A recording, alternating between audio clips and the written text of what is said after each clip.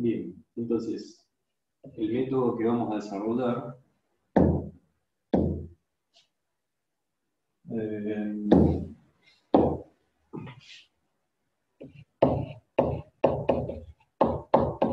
destilación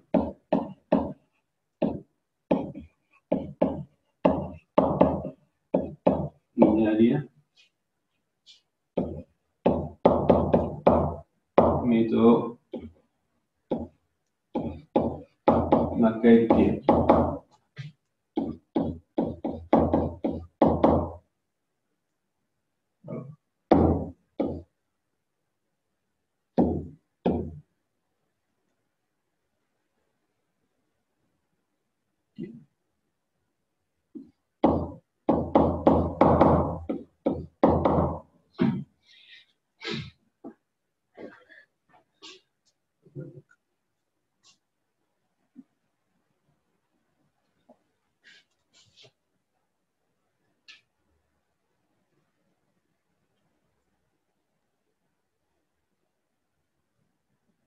Bien.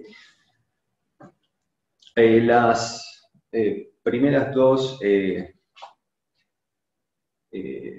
diferencias importantes que tiene con Ponchón Savarit la vamos a enunciar a continuación. una de ellas es que se considera mezcla ideal.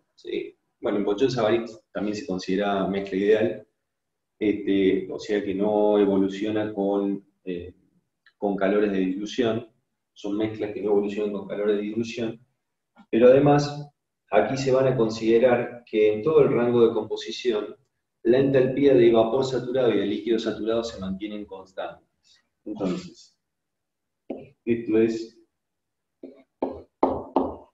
HS y H minúscula S constantes.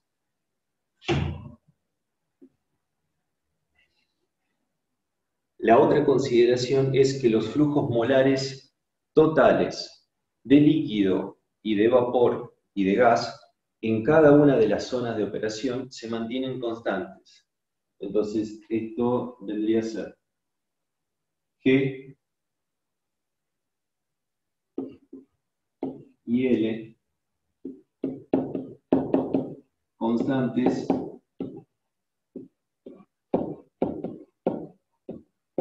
en cada zona de operación.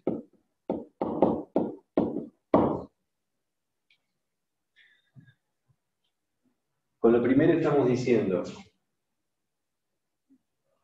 en un diagrama de entalpías versus composición,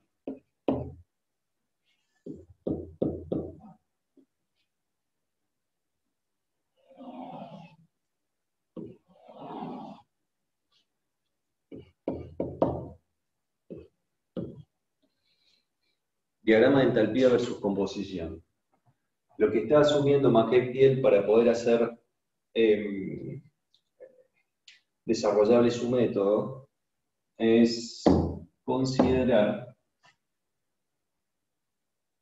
una situación como esta,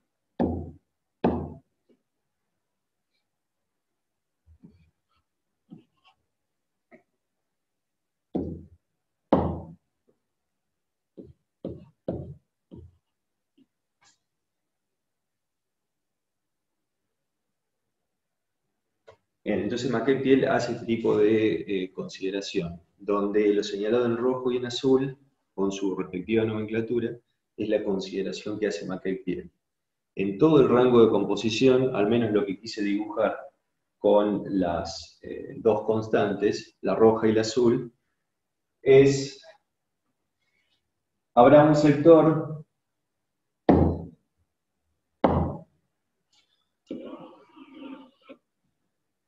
un sector, un rango de composiciones para la cual la consideración está por defecto, y habrá otro rango que la consideración está por exceso.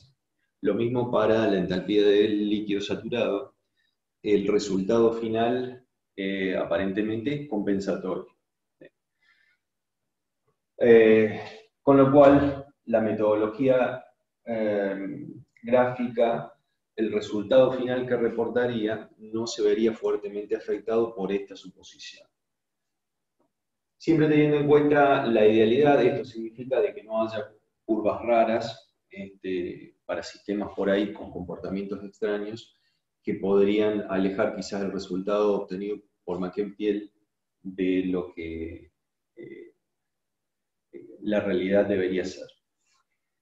Eh, bien, la segunda suposición, que G y L son constantes, lo que estamos diciendo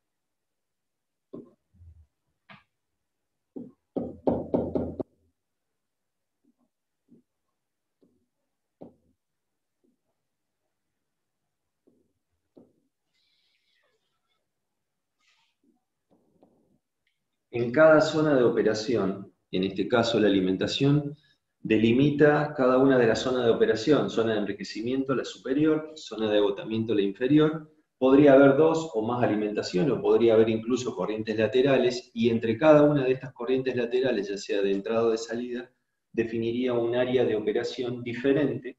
En cada una de ellas, lo que McKay asume es los flujos de líquido y de vapor, flujos molares totales constantes.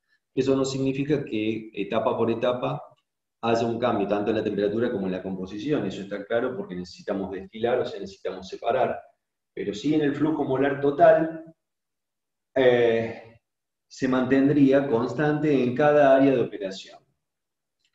Está indicado para la zona de agotamiento como G barra y L barra, para distinguirlos del G y del L de la zona de enriquecimiento, es decir, entre zonas pueden ser diferentes porque cada corriente lateral introduce una perturbación en las corrientes internas. Ahora, dentro de una misma área, esos flujos se mantendrían constantes.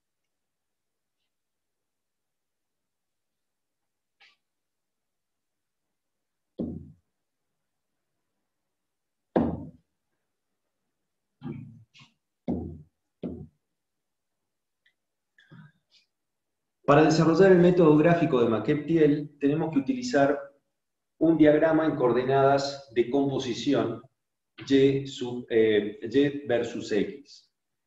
Eh, es decir, en ordenadas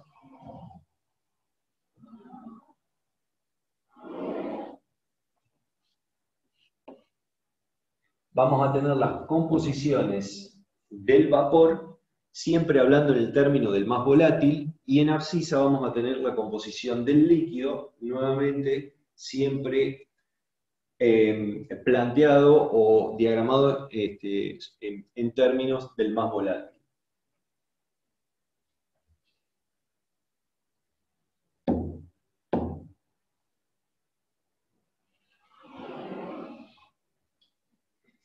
Tendremos la diagonal, la diagonal no necesariamente tiene que ser a 45 grados, eso depende de la escala relativa que utilicemos en, los ejes.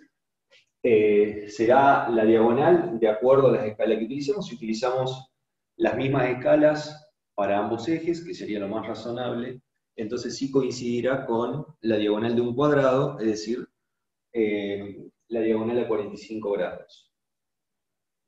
Y luego tendremos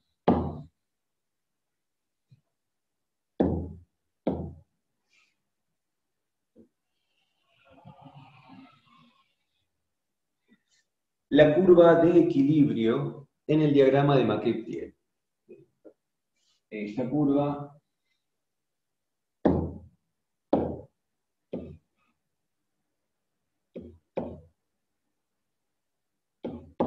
y igual acá por x. No la identifico con el sub i porque dijimos que tanto y como x se refiere al más volátil, estamos hablando de mezclas binarias. Entonces, la curva de equilibrio trazada en un diagrama de y versus x adoptaría una forma como esta. Puede haber variantes, eso depende del comportamiento de cada sistema. Y este es el diagrama que vamos a tener que utilizar en el método de Maclaurin para hacer el trazado de las etapas equivalente a lo que en Ponchón Savarit eh, resolvíamos en el diagrama de entalpías versus composición.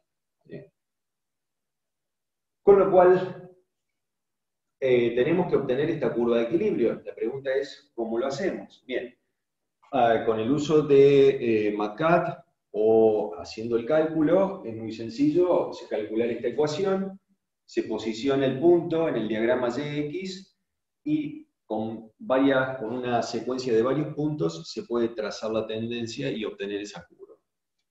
Pero también el dato puede venir proporcionado por ejemplo, eh, teniendo un diagrama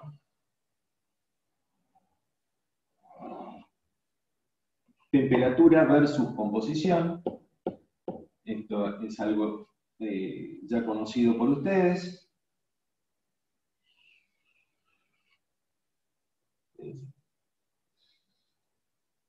Teniendo este diagrama, vamos a ver cómo confeccionamos el diagrama del método de Mackeltiel.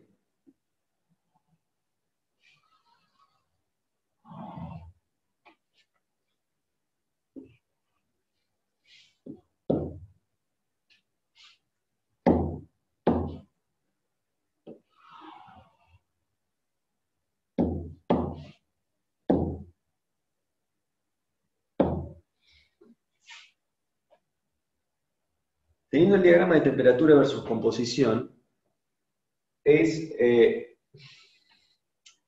eh, fácilmente ubicable una línea de unión. ¿sí? Sabemos que las líneas de unión son horizontales. Entonces, trazando aleatoriamente una línea horizontal, nos está indicando los dos puntos de la mezcla que se encuentran en equilibrio, la composición del líquido en equilibrio con su respectiva composición del gas, del vapor, y además la temperatura a la que corresponde ese equilibrio. Bien, reflejado en las coordenadas de eh,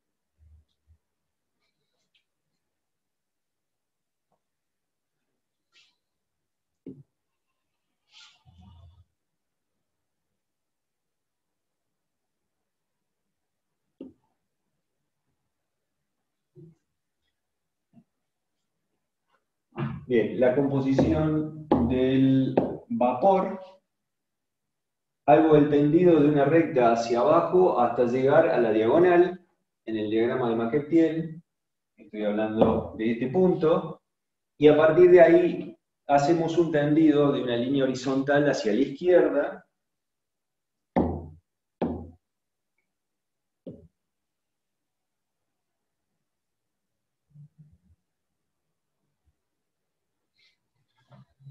hasta cortar la línea vertical que baja desde el punto de la composición del líquido de la mezcla que estamos considerando en equilibrio. Es decir, el punto que debemos obtener es el que estoy señalando ahora. Ese punto, esa intersección, señala un punto sobre la curva de equilibrio en las coordenadas de Maclaurin.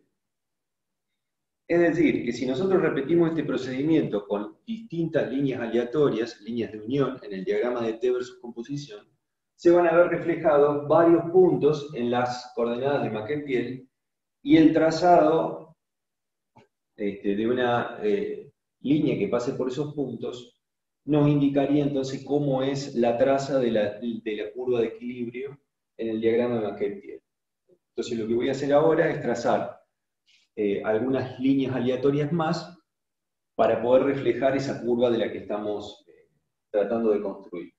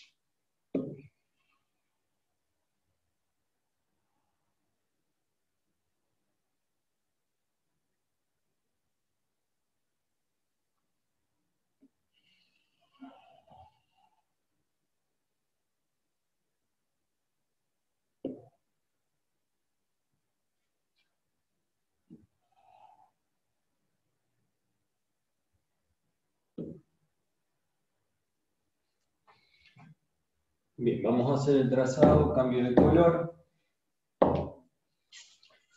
de la curva de equilibrio, que partirá de cero del origen,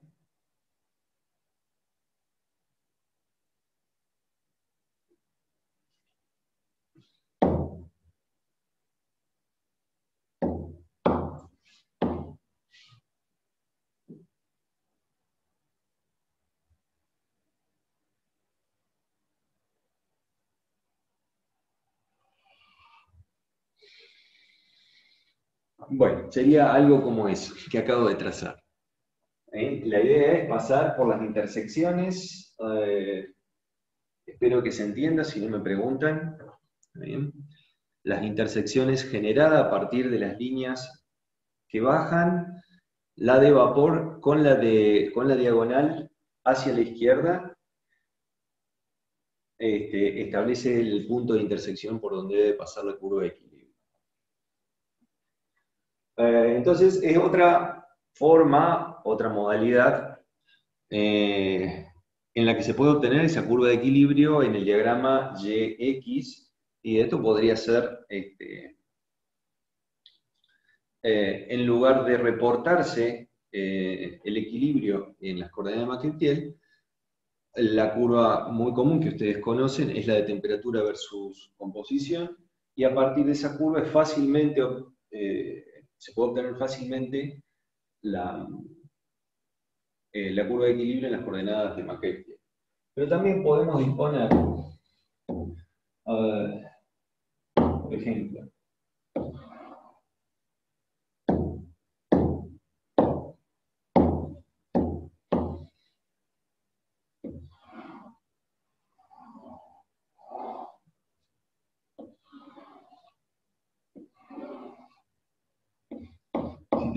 diagrama de entalpía versus composición,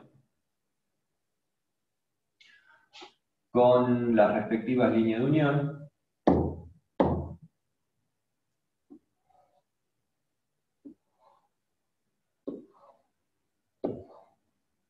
Esas líneas de unión también pueden reflejarse en el diagrama eh, de composición Y versus X.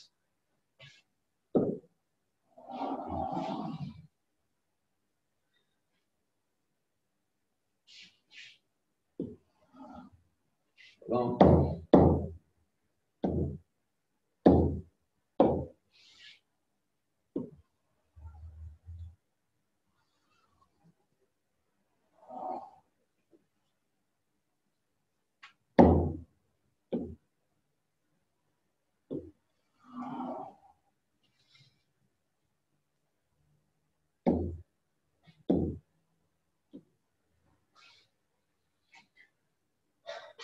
Eh, vamos a partir, lo señalo, vamos a partir de ese punto, trazamos línea vertical hasta llegar a la, eh, diagonal. Y ahí vamos hacia la izquierda, y luego partimos de este punto, línea vertical, hasta cortar esa línea horizontal que dijimos que nace en la diagonal hacia la izquierda. Eh, una consulta. ¿Sí? ¿No había dicho que el diagrama H versus XY era lineal, eh, eran dos rectas paralelas horizontales. Sí, correcto. Esa consideración la hace Maquentiel cuando veamos el desarrollo en una parte del balance de energía. Lo que estoy diciendo, o lo que dije, mejor dicho, acerca de la consideración, eh, es el momento en el que se aplica. Ahí va a quedar más claro. La realidad, la realidad de la que estoy mostrando, entalpía versus composición, eh, así es la termodinámica del sistema y así es como responde el sistema. Que después la metodología no quede sujeto a, eso, o mejor dicho, que la consideración no afecte a la metodología, es otra cosa. Pero para hacer el desarrollo debemos considerarlo, eh, eh, debemos considerar las curvas tal cuales son. A ver, esto para que... o sea, para que no confunda, está bien la pregunta, ¿sí? por ahí puede resultar confuso, eh, tal como arranqué la clase, eh, se van a dar cuenta durante el desarrollo de Maquet-Piel de la consideración que acabo de decir. Solo que para el trazado de la curva de equilibrio, la curva de equilibrio es termodinámica y ese, eh, esa termodinámica este, hay que tomarla tal como es. O sea, la curva de equilibrio hay que tomarla tal como es. Entonces, la consideración que hace Maquet-Piel eh, en su desarrollo, de alguna manera, este, no, eh, eh, no impacta en la curva de equilibrio, pero sí en el resto de la metodología para el trazado de las etapas y de las curvas de operación. Digamos, ténganme paciencia que eso ya entiendo que va a quedar, si no queda claro, rebobinamos y explicamos nuevamente, pero en el desarrollo se va a explicar esta situación. Entonces, para hacer el trazado de la curva de equilibrio en Maquet-Piel, mm, dijimos, partimos de este punto hasta la diagonal, de este otro punto, simplemente hasta lograr el cruce de la horizontal que nace en la diagonal. Ahí tenemos el primer punto de intersección. Cuando digo primer punto de intersección me refiero a ese punto. Repito el mismo procedimiento para las líneas de unión restantes.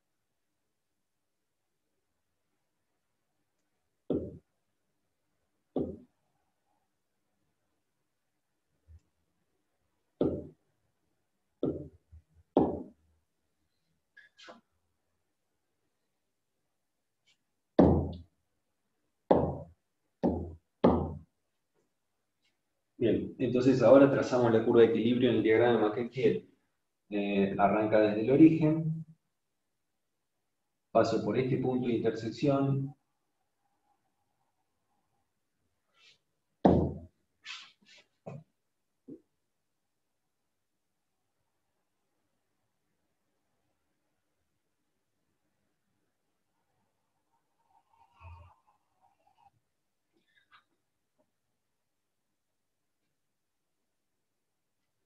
Eh, estoy repasando, entiendo, sí, está bien. Ah, o sea, los puntos por donde debe pasar la curva es ese, ese otro, ese y este otro.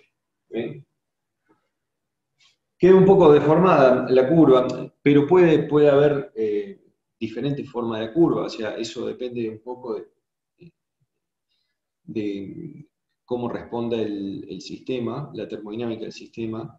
Este, en este caso quizás por el trazado mismo quizás quede un poco deformada, pero puede haber curvas que no necesariamente reflejen como eh, una concavidad eh, bien, bien definida. Este, puede haber este tipo de deformación.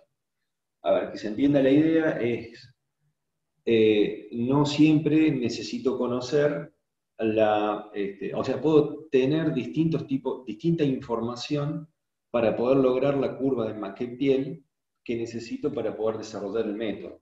Entonces puedo partir de un diagrama de entalpía versus composición, temperatura versus composición, o tener definido datos que me permiten calcular con la ecuación de equilibrio propiamente dicha, y igual a k por x, encontrar en estas coordenadas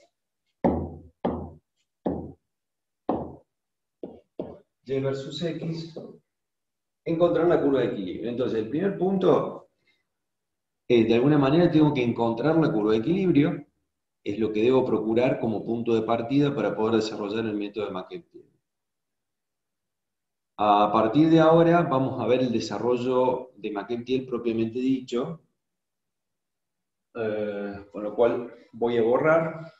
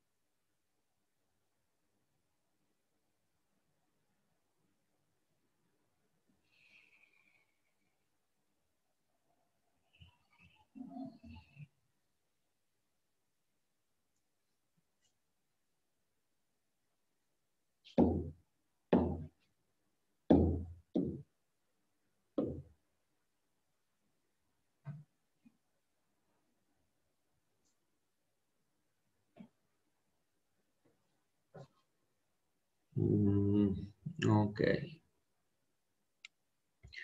Espero que no se me haya desproporcionado porque se achicó.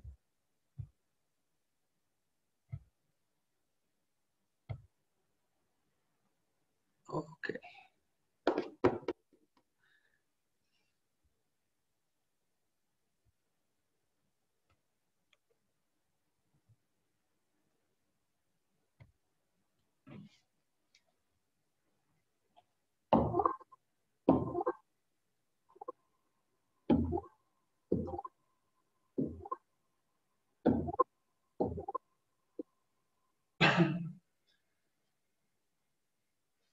Bien, vamos. Eh,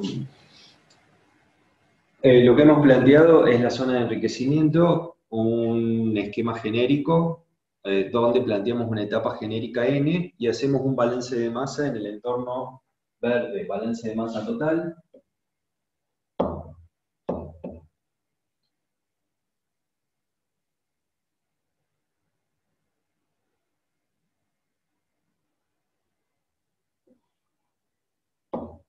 es igual a L más D, donde nosotros sabemos que eh, L sobre D es igual a R,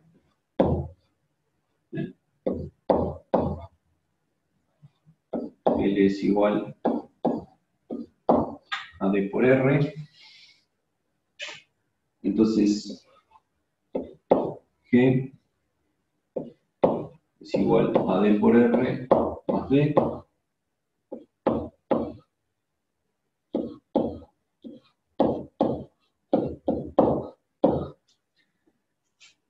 que es igual a D por R más 1.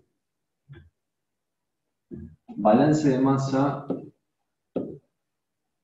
por componente, en este caso lo vamos a hacer para el más volátil, como venimos haciéndolo también para Ponchón Savary, es decir, directamente generamos el balance de masa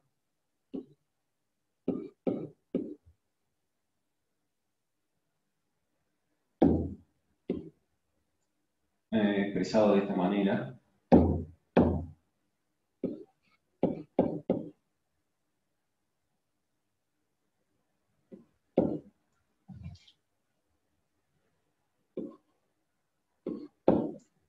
L por X sub n más D por XD. Pasamos dividiendo G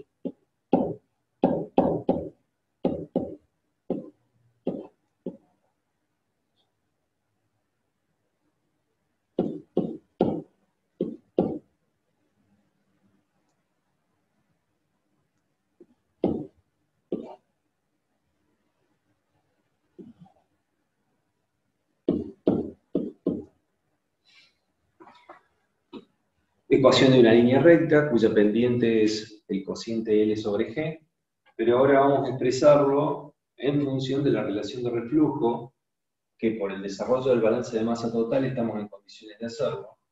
Entonces decimos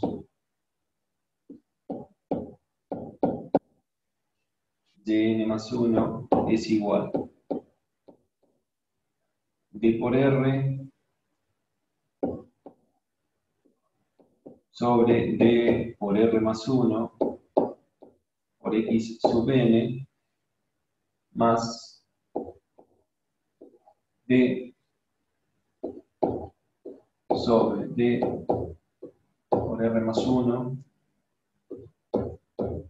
por xd. Podemos cancelar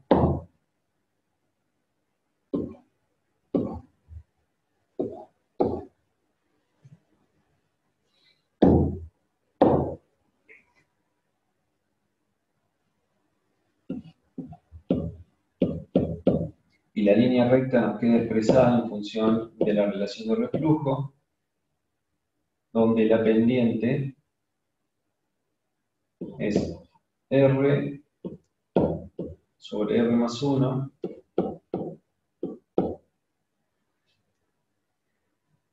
y la ordenada del origen es xd sobre R más 1.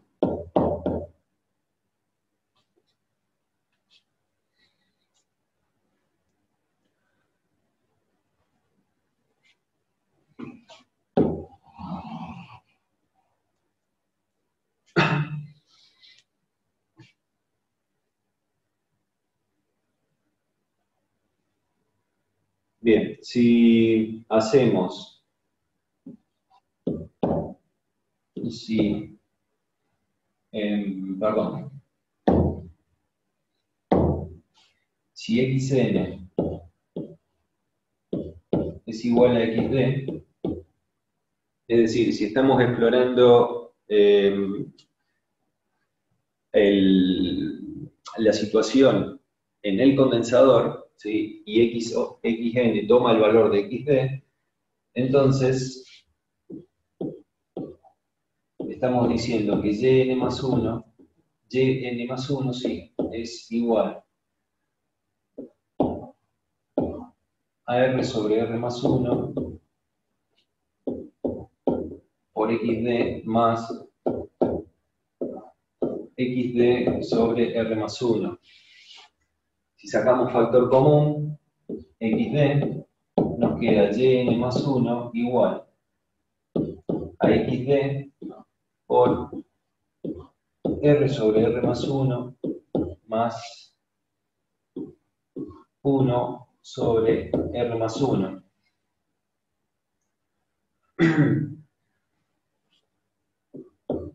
Implica que yn más 1 es igual a xd.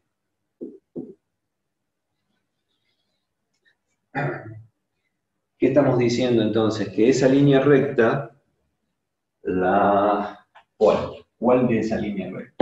la ecuación de la línea recta, aquí, planteada de este modo, es una línea recta que tendrá una pendiente de r sobre r más 1 y va a pasar por el punto sobre la diagonal en XD. Bien, lo que estoy diciendo, para entenderlo un poco mejor, tenemos que hacer el diagrama de Matetiel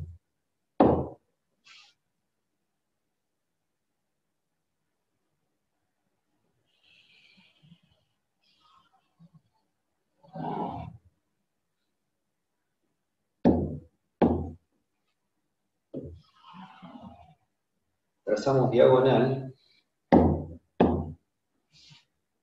dijimos que el diagrama es Y versus X,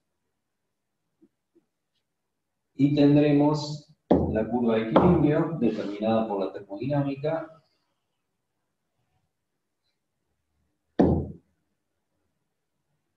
perdón, lo voy a trazar con otro color para no confundirse con la expresión señalada. azul.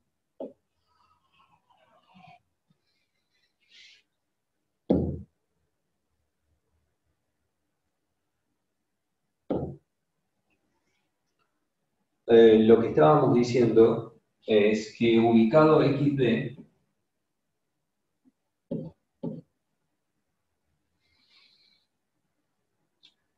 eh, la diagonal, todos los puntos sobre la diagonal señalan igualdad en composiciones del líquido y del vapor. O sea, lo que estoy diciendo es que en cualquier punto de la composición en la que eh, evalúe.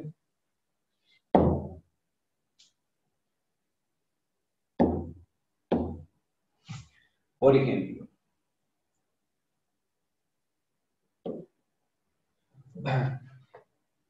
eh, llamemos,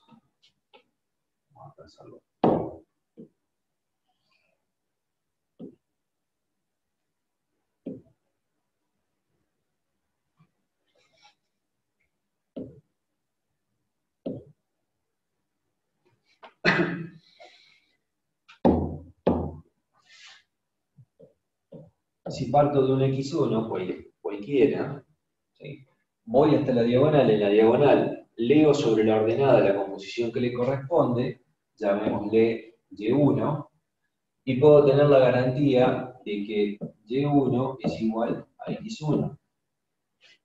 Esto se va a cumplir para cualquier composición. La diagonal marca, señala la recta en la cual hay igualdad de composiciones en la fase líquida y en la fase vapor. Entonces,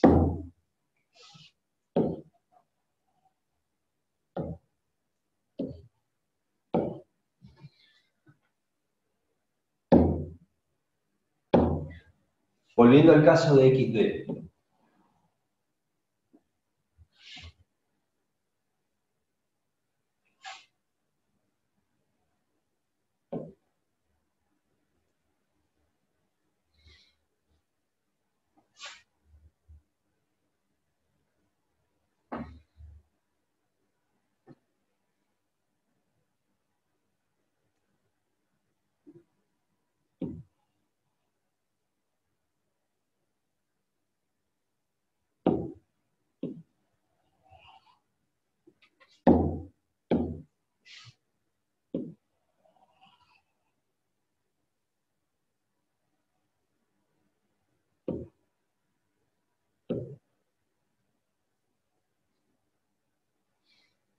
lo que estamos diciendo.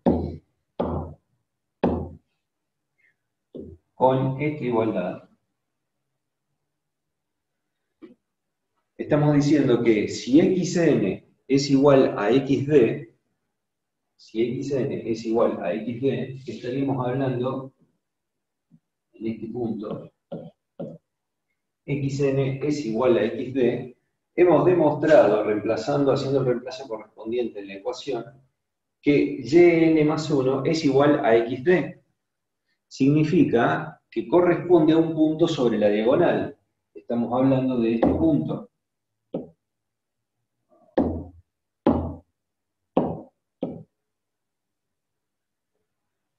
Entonces, la recta que está eh, remarcada, señalada en el entorno rojo, estoy hablando de este entorno,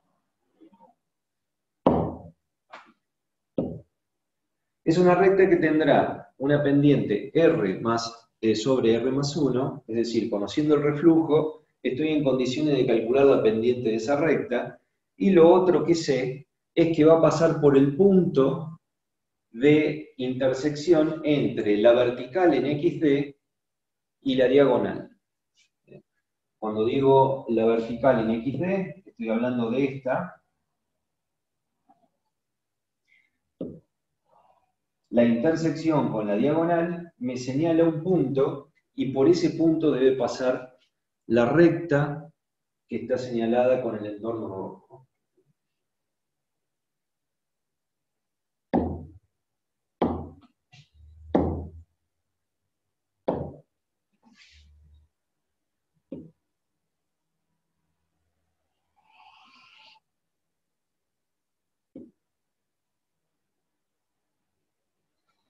Por ejemplo, la recta verde que acabo de trazar,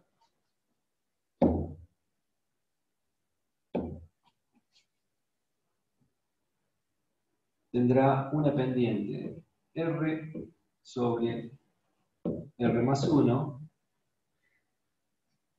y veamos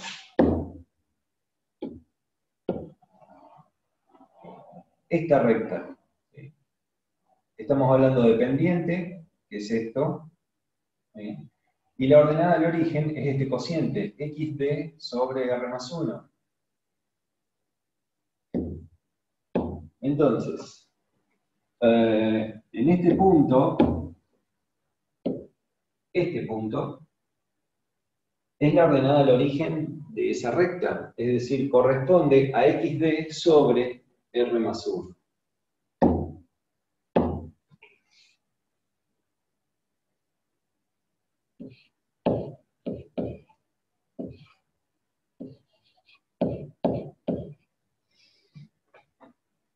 Hablando de este punto.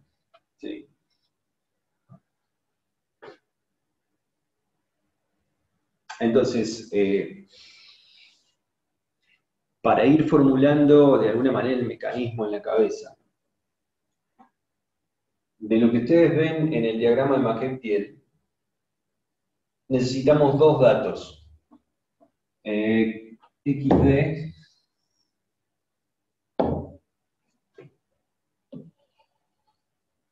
XB y la relación de reflujo, lo voy a poner y la relación de reflujo. Si conocemos o definimos la relación de reflujo, podemos calcular el cociente R sobre R más 1 y tenemos la pendiente de la recta de operación. Y con XD haciendo XD sobre R más 1, obtenemos la ordenada del origen de, eh, de esa recta.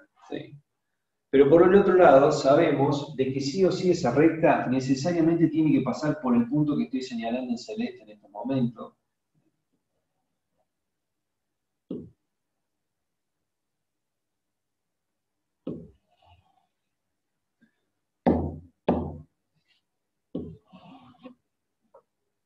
Sí o sí tiene que pasar por ese punto.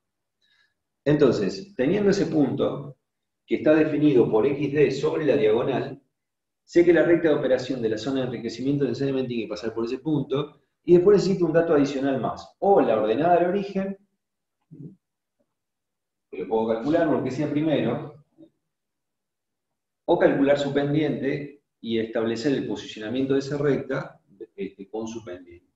Cualquiera de esos dos datos adicionales lo puedo utilizar para encontrar la recta de operación que la que ustedes ven en el diagrama es la recta en color verde.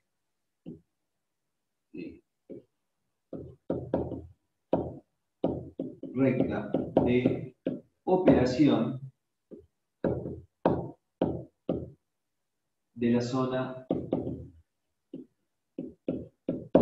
de enriquecimiento. ¿Sí?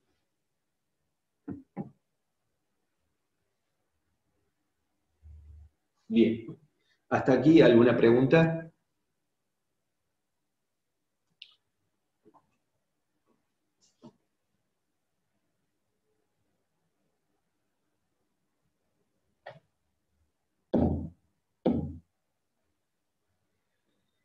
Vamos a hacer un desarrollo equivalente, pero ahora para la zona de agotamiento.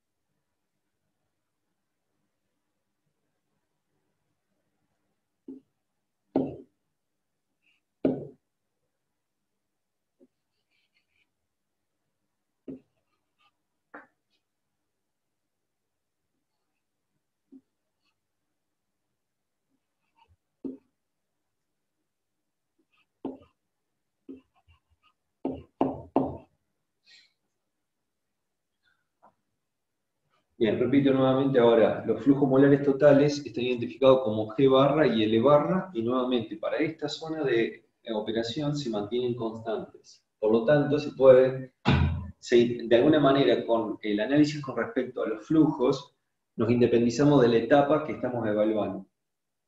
Vamos a hacer un balance de masa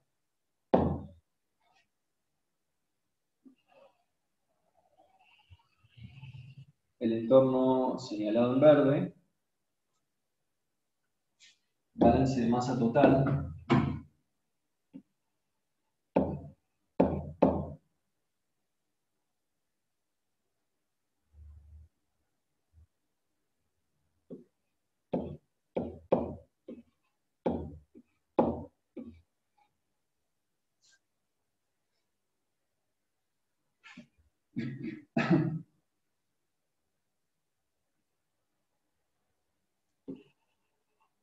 balance de masa por componente para A.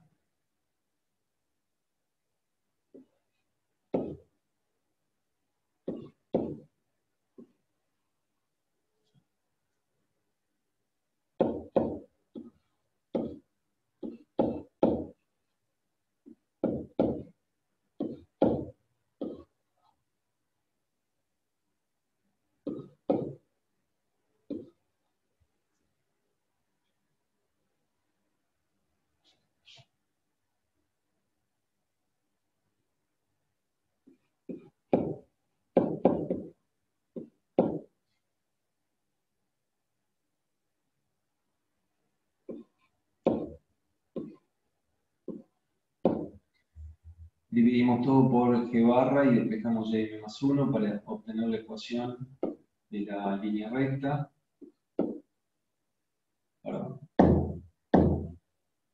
Menos.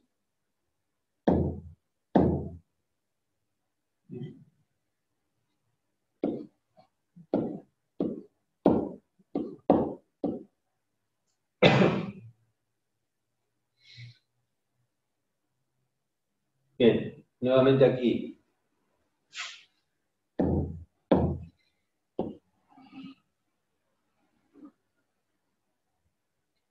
Es la ecuación de una línea recta en un diagrama y versus x, donde la pendiente es L barra sobre G barra, y la ordenada del origen será W sobre G barra por XW.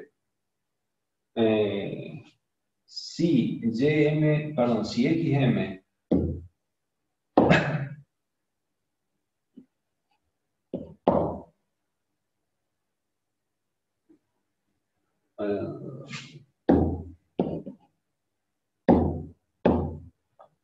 aquí.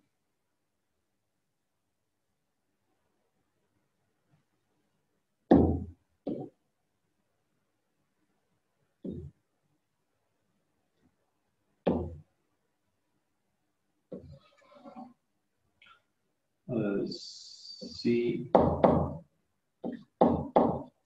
xm es igual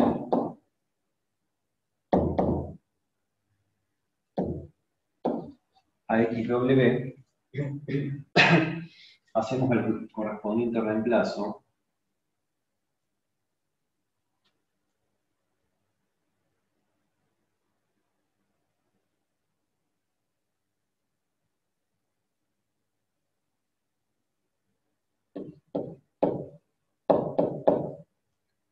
y más 1 igual a L barra sobre puedo reemplazar directamente L barra menos W, esto es por ecuación de balance molar, eh, por XW menos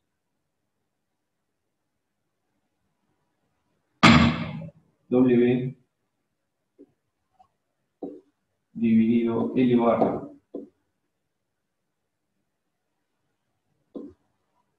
Menos W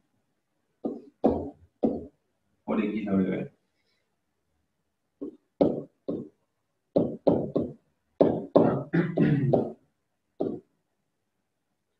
Sacando factor común XW,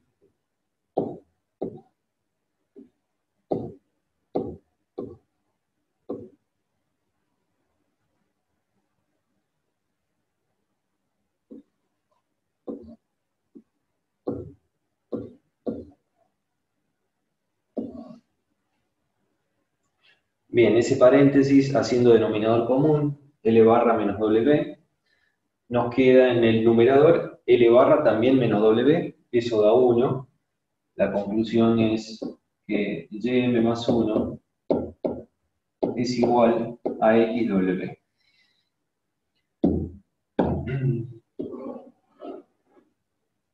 Haciendo el mismo análisis para la zona de enriquecimiento, lo que estamos diciendo es que cuando estamos analizando la composición en XW, la ecuación de la línea recta, de acuerdo a este eh, análisis que acabamos de hacer, debe pasar por el punto de intersección sobre la diagonal, que es esto,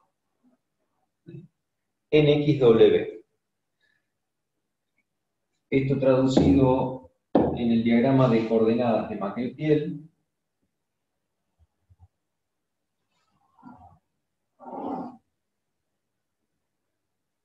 嗯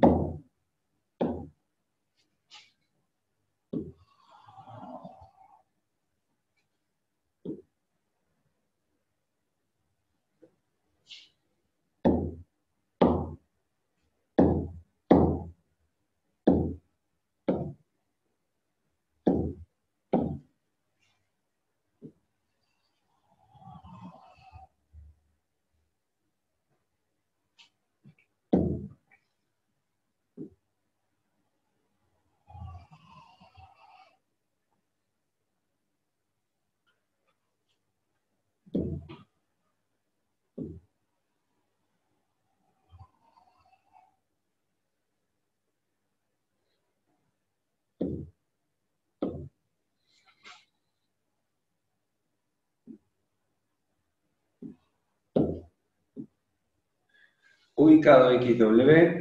Fíjense que recién, eh, casi en automático, ubiqué XD a la derecha y ahora estoy ubicando XW a la izquierda. Esto es así en una operación binaria.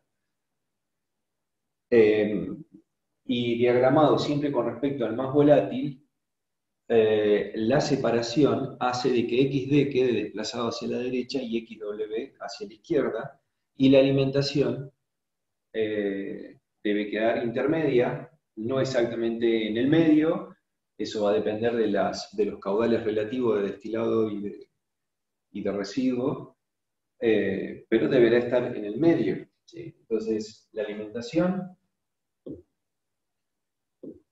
Z, puede estar aquí, Z1, Z2, es decir, todas las alimentaciones que se nos ocurran, lo que sí tenemos que, vamos a tener garantía de que por justamente el desarrollo de una, de una operación de destilación, frente a una alimentación o a una mezcla dada, el proceso de separación va a llevar a dos productos, destilado y residuo, que estos serán XW, XD, eh, y eso reflejaría la separación que hemos tenido a través de esa operación. Entonces, partiendo de cualquiera de las mezclas que están aquí señaladas, iremos hacia un destilado y a un residuo, siempre hablando en, mezclas binarias, siempre hablamos de que el más volátil, sea quien sea, eh, por supuesto, se purificará en el destilado y viceversa para el,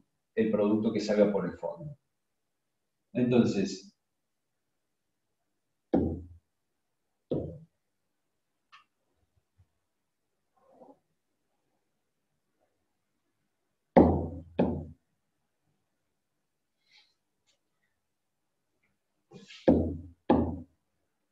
Lo que estábamos diciendo con esta igualdad, se la estoy señalando en este momento, eh, nos dice que la línea recta, de acuerdo a lo que acabamos de hacer, al reemplazo que acabamos de hacer, la línea recta en la zona, la línea recta que representa la recta de operación en la zona de agotamiento, debe pasar por el punto de intersección que se da sobre la diagonal con la vertical en XW. Entonces, la vertical trazada desde XW sobre la diagonal establecerá un punto, estoy hablando de ese punto, por esa intersección debe pasar la recta de operación de la zona de agotamiento. Es decir, esta recta de operación que responde al desarrollo de la zona de agotamiento debe pasar por, ese, por este punto de intersección.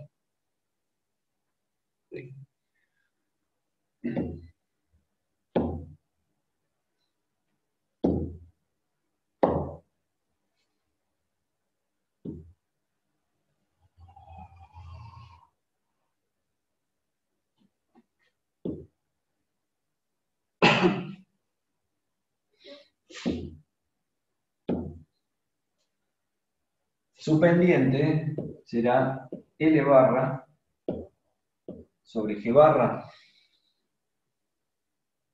¿Sí? De acuerdo a lo que establece esta ecuación. Entonces, de lo que podemos estar seguros es que va a pasar por la intersección XW sobre la diagonal y después tendrá la pendiente L barra sobre G barra. Solo que L barra sobre G barra, siendo corrientes internas, no estamos en condiciones de poder saber cuál es su valor. En la zona de enriquecimiento, si ustedes recuerdan, nos quedaba la pendiente y la ordenada de origen en términos de eh, relación de reflujo y de composición de destilado. Dos variables sobre las que tenemos manejo, control, o al menos son parámetros que pueden ser eh, definidos. L barra sobre G barra no pueden ser definidos, no deben ser definidos. Este, no son variables operativas eh, fácilmente definibles. Entonces, para fijar el posicionamiento de esa recta en cuanto a su pendiente, porque sabemos el punto de intersección por donde va a pasar XW sobre diagonal, eso se va a respetar siempre, pero no sabemos su pendiente. Para establecer su pendiente es necesario obtener una tercera recta, que se llama recta Q, y se obtiene a partir de un desarrollo en, este, es el desarrollo resultante de, eh, partiendo de un análisis en el plato de alimentación. Y es el desarrollo que sigue. Entonces, ahora, para cerrar esta partecita de lo que venimos haciendo, tenemos que asumir que esa recta, la recta de operación de la zona de agotamiento, tendrá una pendiente de L barra sobre G barra hasta entenderlo con el desarrollo que sigue.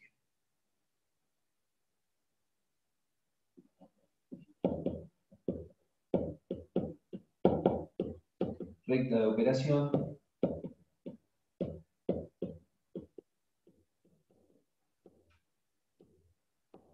zona de agotamiento.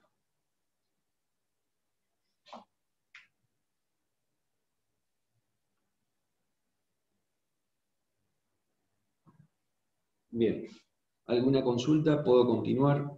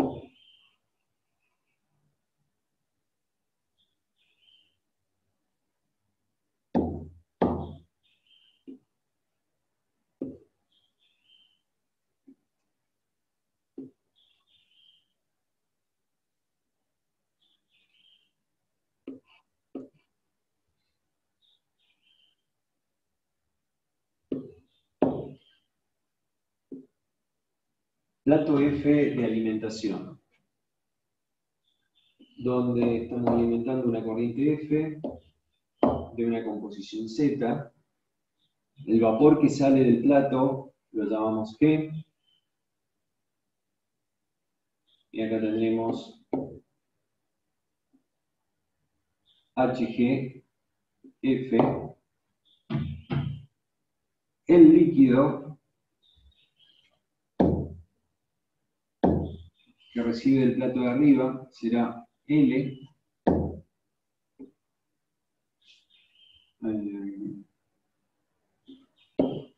HL F-1, líquido que sale del plato de alimentación será L barra HLF y el vapor que llega al plato de alimentación será G barra HG F más 1.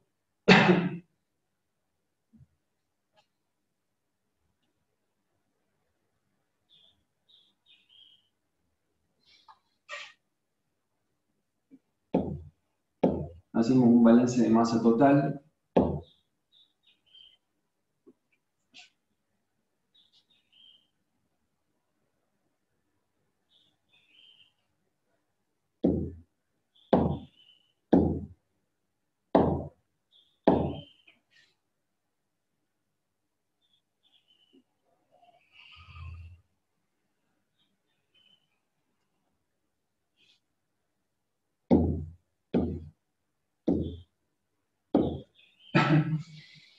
Bien, en el entorno verde, el balance de masa total entra F más G barra más L y sale G y L barra.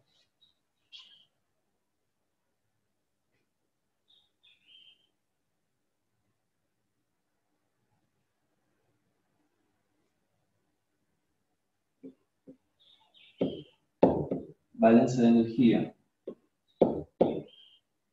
Entre F, perdón, ya me faltó HF, F por HF, más G barra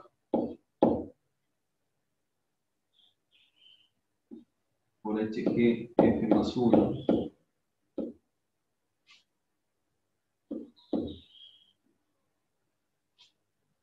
Más L por HLF menos 1 igual a G HGF más L barra por HLF menos 1.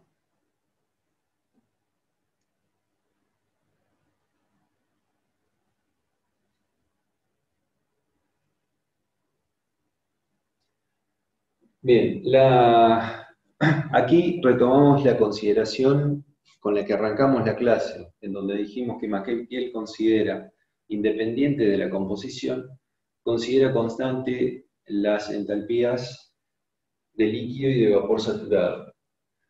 Entonces, las corrientes, a ver si las señalo, la corriente G, la corriente L, la corriente L barra y la corriente G barra, cada una con sus respectivas entalpías, corresponden a entalpías de, eh, de eh, sistemas que se encuentran en, de un sistema que se encuentra en equilibrio. Entonces, eh, si bien cada una de ellas tendrá su respectiva composición, como la consideración que hace McKenpiel es que la entalpía es constante, independiente de la composición, bajo esa asunción estamos en condiciones de decir que H del gas F más 1 es igual a H del gas sub F y directamente lo llamamos H, Hg sub S, es decir, entalpía del gas saturado. Lo estoy señalando con el subíndice G o L para distinguir, porque acá no, no hice la nomenclatura, no la apliqué con H mayúscula y H minúscula. Eh, luego también podemos decir, del mismo modo, que HL F-1 es igual. Eh,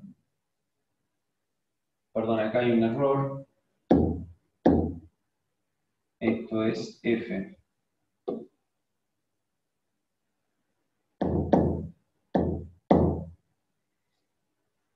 L barra con H sub LF.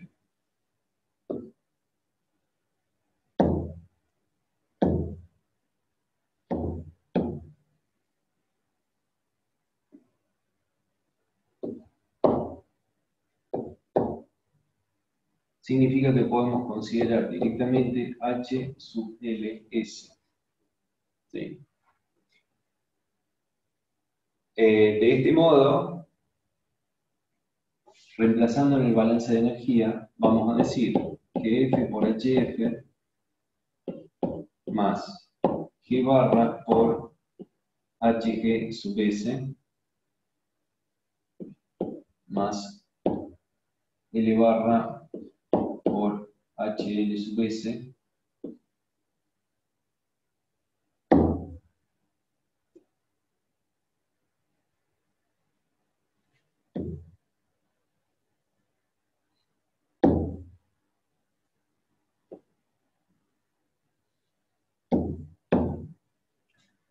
L por HL sub S es igual a G HG sub S más L barra HL sub S.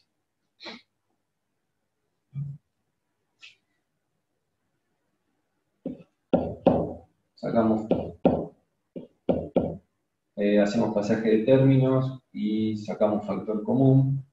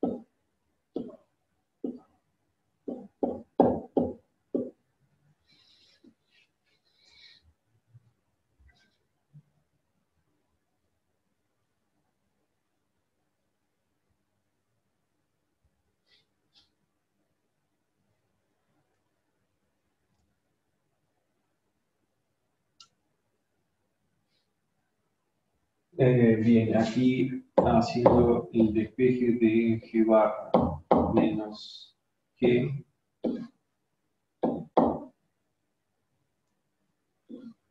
es igual a L barra menos L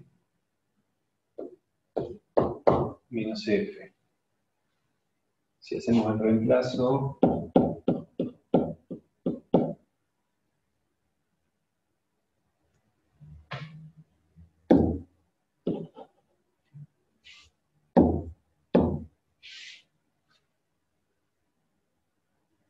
voy a dejar un espacio para después hacer el diagrama, el esquema en el ángulo inferior izquierdo. Voy a tratar de hacerlo acá. F por HF más, si hacemos el reemplazo por la ecuación, por esta ecuación que les estoy señalando, eh, entonces nos queda L barra menos L por HG sub S menos F por HG sub S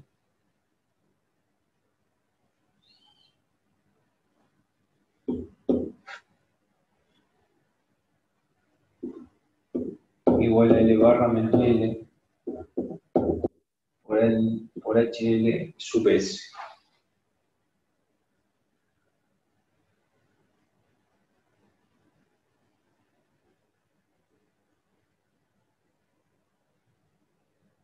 Bien. Luego sacamos factor común F.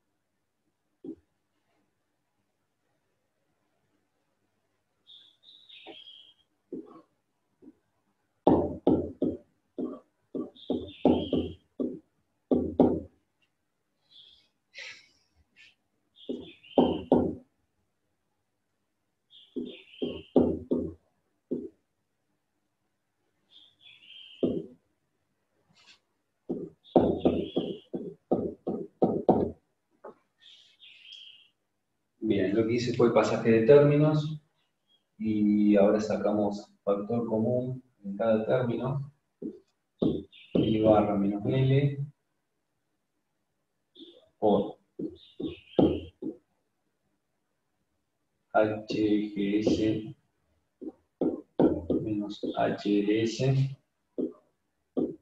igual a F por HGS menos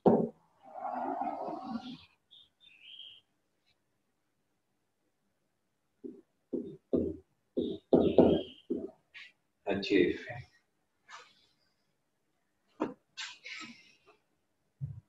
Entonces, podemos decir que L barra menos L dividido F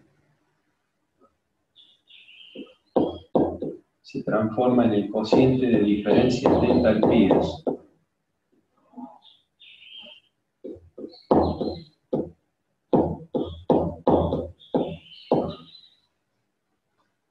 donde el numerador del cociente de diferencia de entalpía, el numerador es una diferencia de entalpías entre la entalpía del gas saturado y la entalpía de la alimentación. Entonces, teniendo conocimiento del estado térmico en el que alimentamos la mezcla, conocemos H sub F. Hg sub S, entalpía del gas saturado, lo conocemos por la termodinámica. Dividido entalpía del gas saturado menos entalpía del líquido saturado. Esta diferencia, la diferencia del numerador, corresponde al delta H de vaporización de la mezcla.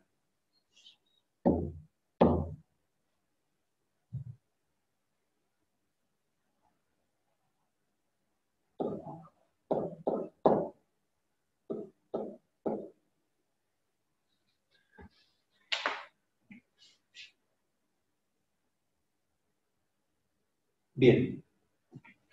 Por el otro lado, o sea, eh, me refiero al primer miembro, la relación L barra menos L dividido F es ese cociente que es igual a, em, al cociente de diferencia de, de entalpías, se denomina Q.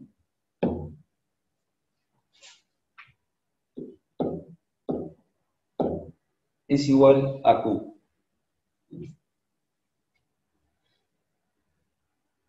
y es una línea recta. Ah, a la que se le llama recta Q. Lo que sí vamos a tener que conocer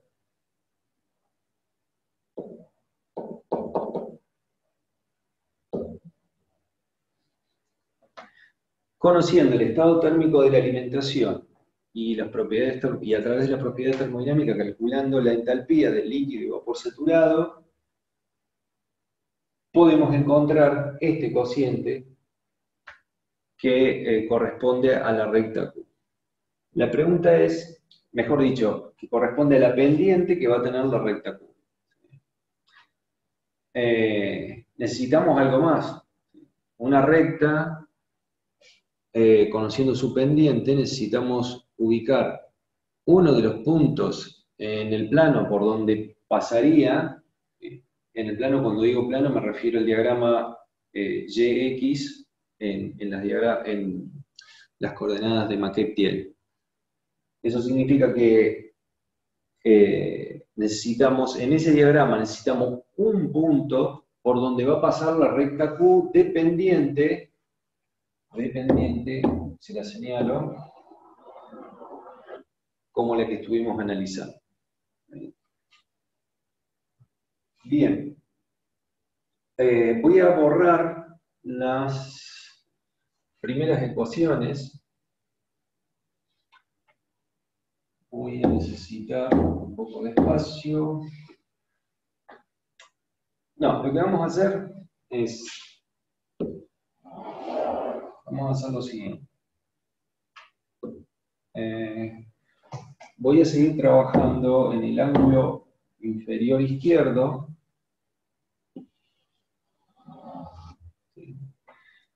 Y eh, después, el, para hacer el diagrama, eh, borramos las primeras ecuaciones, las, primeras, las, las de más arriba, y ahí desarrollamos el diagrama.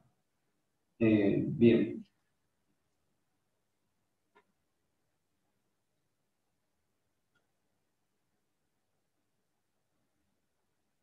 Mm, ok.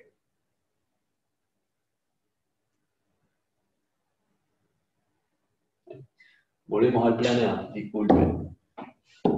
Volvemos al plan A porque no voy a tener espacio suficiente.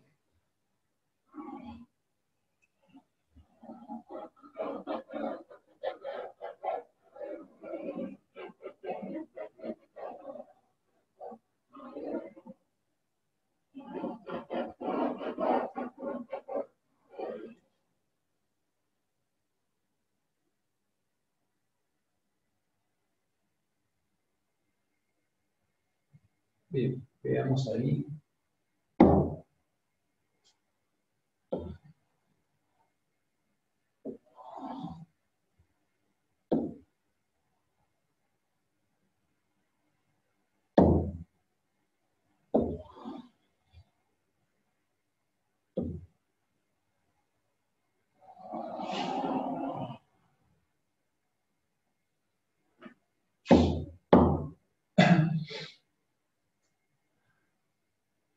Planteamos eh, las ecuaciones generales de la línea recta para la zona de enriquecimiento y para la zona de agotamiento.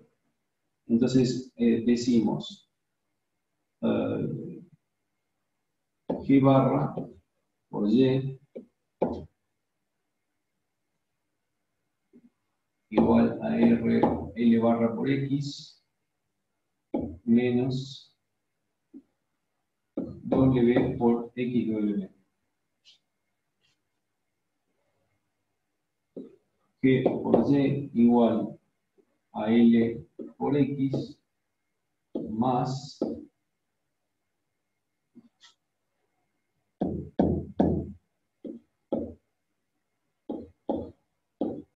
D por XD. Um, recordemos esto, cuando hicimos el trazado de la recta de operación de la zona de enriquecimiento y de agotamiento, eh, traten de recordar de cómo las había dibujado en el diagrama de Maquet-Thiel. Eh, sus pendientes, su trazo, en algún punto iban, iba a hacer de que se crucen ambas rectas.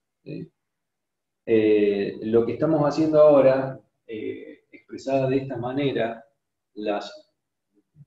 digamos, la, ecuación de la, de la línea recta de la zona de enriquecimiento y agotamiento, y eso está definido por los flujos molares totales que estoy utilizando, eh, si restamos miembro a miembro, podemos obtener la ecuación de una línea recta ¿qué pasa por el punto de intersección de estas dos de origen? Entonces, continuando con el análisis, vamos a decir que barra menos g por y igual a L barra menos L por X más.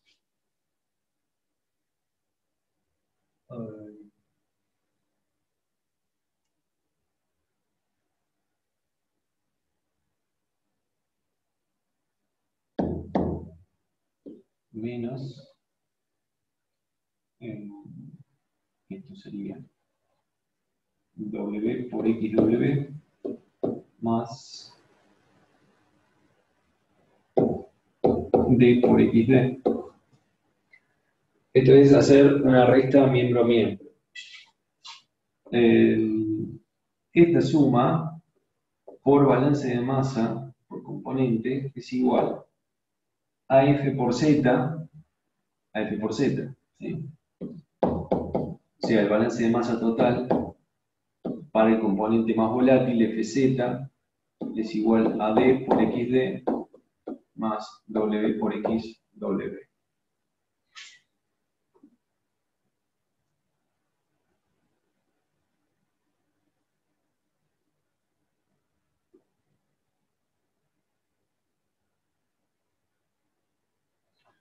Ok, entonces,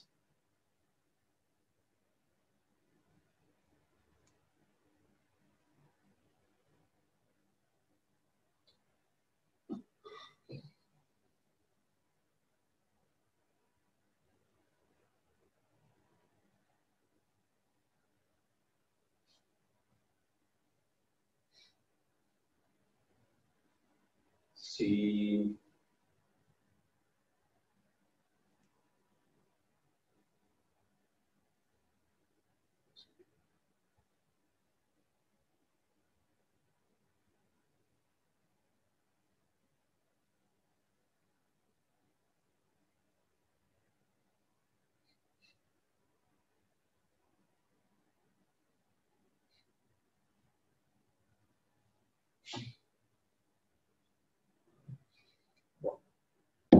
un poco complicado con la organización.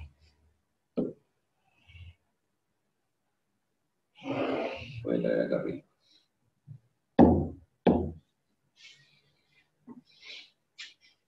Eh,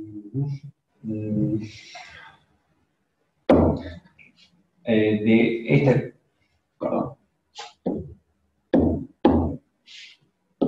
En este, vamos a trabajar sobre esta ecuación si hago el despeje de L barra menos L,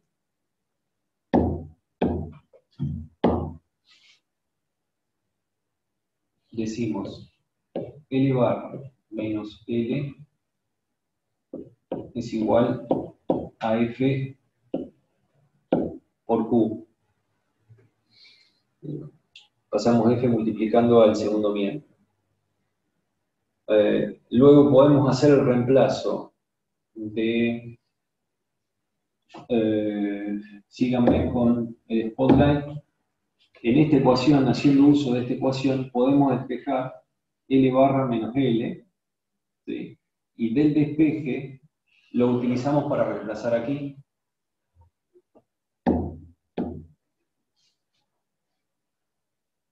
Entonces tenemos eh, que Barra menos G más F es igual a F por Q.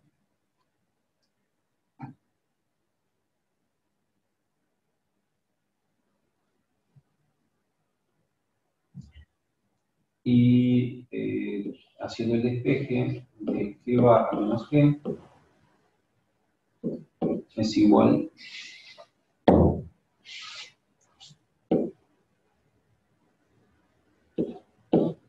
F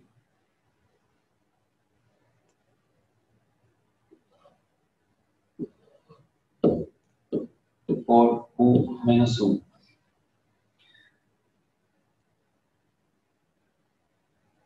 Bien. Entonces, eh, ahora volvemos a esta ecuación. Lo que vamos a hacer es reemplazar g barra menos g por su igual. Y vamos a reemplazar L barra menos L por su equivalente por su igual F por Q.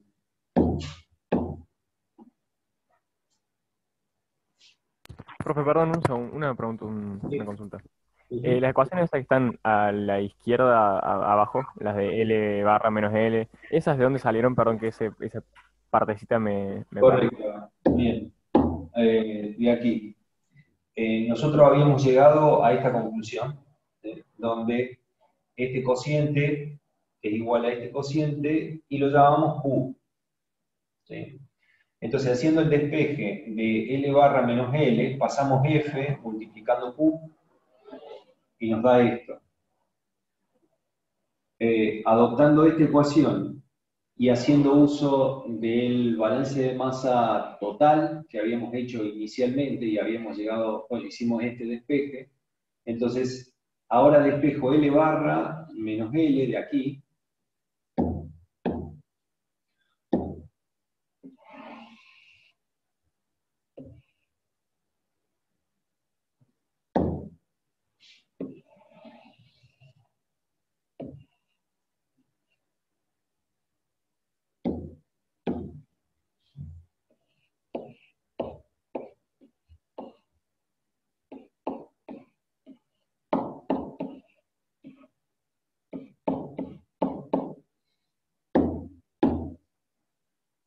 Entonces, el, L barra menos L, ahora lo reemplazo, de acuerdo a esta ecuación, por el segundo miembro.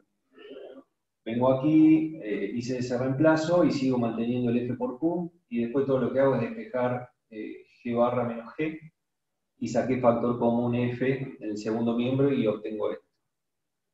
Entonces ahora ambas expresiones, esta diferencia y esta otra, vamos a usarla para reemplazar en esta ecuación. Gracias, profe. Bien. Entonces, eh, G barra menos G, dijimos que es F por Q menos 1 por Y, y L barra menos L es igual a F por Q por X eh, menos F por Z.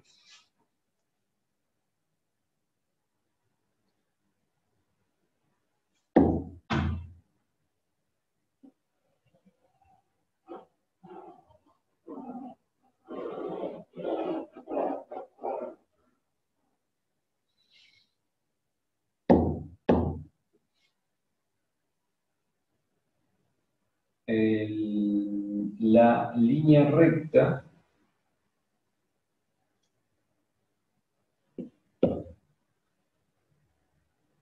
Nos queda con una pendiente de f por q dividido. F por q menos 1 y una ordenada de origen de f sobre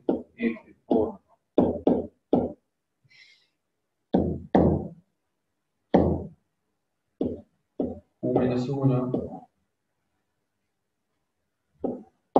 por Z.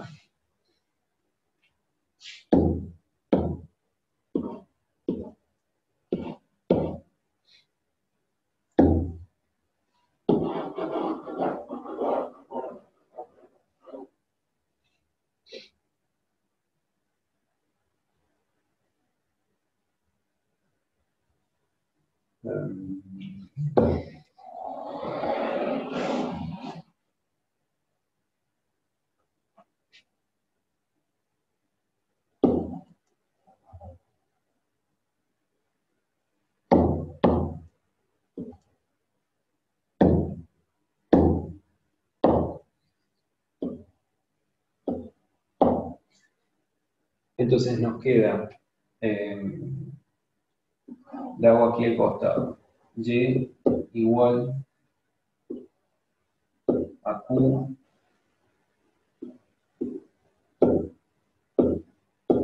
Sobre q menos 1 por x eh, dividi, eh, perdón, menos z sobre menos 1.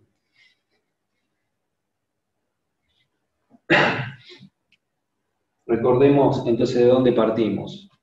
Eh, lo con el spotlight. Hicimos, planteamos las ecuaciones de las líneas rectas en forma genérica para la zona de, de agotamiento y la zona de enriquecimiento respectivamente. Hicimos la resta miembro a miembro, eso es para poder encontrar la ecuación de otra línea recta que determina que señala el punto de intersección entre las dos que le dieron de las dos que le dieron origen. Eh, haciendo, bueno, eh, la, ecuación resultante de esa diferencia es esta otra, pero haciendo uso de y reemplazando con la recta Q, haciendo uso de la expresión de la recta Q obtenida a partir del balance de energía en el plato de alimentación, llegamos a esta expresión de una línea recta. Entonces, la línea recta resultante en este en este punto,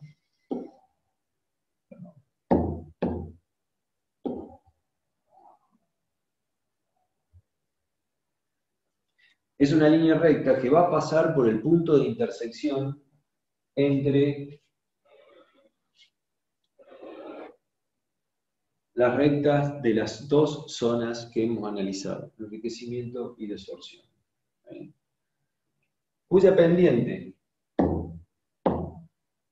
será Q sobre Q menos 1 y tendrá una ordenada al origen de Z sobre Q menos 1. La pendiente Q sobre Q menos 1. Recordemos lo que era Q.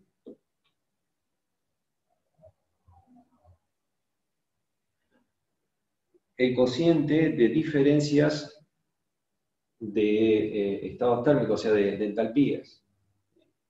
Entonces, eh, fíjense eh, el siguiente detalle. Si nosotros conocimos el estado térmico de la alimentación, es decir, su entalpía, y conociendo los diagramas de entalpía de vapor y de líquido saturado, podemos calcular este cociente, con lo cual tenemos conocimiento del valor de Q.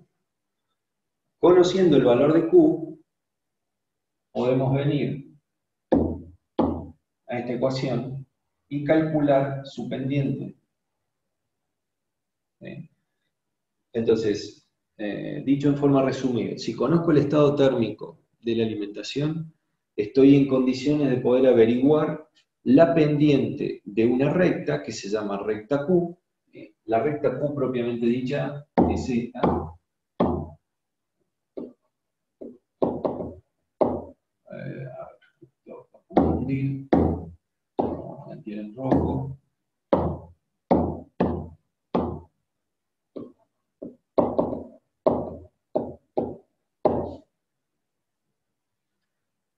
Repito, conociendo el estado térmico de la alimentación, puedo encontrar cuánto vale Q y a partir de ello encontrar el valor de la pendiente de la recta Q.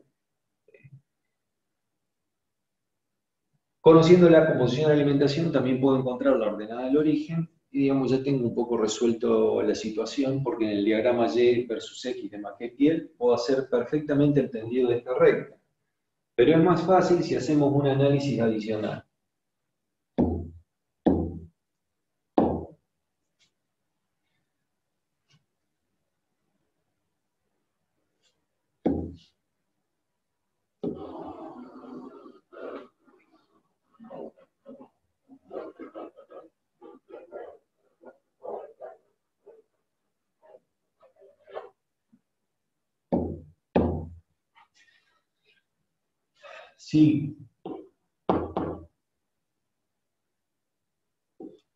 X es igual a Z, entonces Y es igual a Q sobre menos 1 por Z menos Z dividido menos 1. Entonces, y es igual a z por q sobre q menos 1 menos 1 sobre q menos 1. Sacando denominador común q menos 1, siendo que el numerador también es q menos 1, se simplifican ambos términos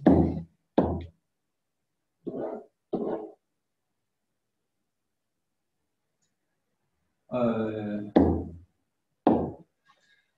y el resultado que obtenemos, la conclusión que obtenemos es que y es igual a z. Lo que acabamos de demostrar es que esta recta, esta recta, tiene una pendiente q sobre q menos 1, que la podemos obtener a partir del conocimiento del estado térmico de la alimentación. Eso por un lado, conocemos su pendiente. El otro dato que nos hace falta para ver por dónde pasa esta recta es o calcular su ordenada, con lo cual podemos posicionar perfectamente esta recta, o, por lo que acabamos de demostrar, sabemos que esa recta necesariamente va a tener que pasar por la intersección de la vertical en Z sobre la diagonal, por lo que estamos diciendo aquí. Esta igualdad recuerden que se da sobre cualquiera de los puntos en la diagonal. Eso significa que en la intersección de la vertical en Z eh, con la diagonal, por allí, por ese punto, debe pasar esta recta, la recta cuya pendiente, vuelvo a repetir, es Q sobre Q menos 1. Entonces, llevado al diagrama, de piel lo voy a desarrollar aquí.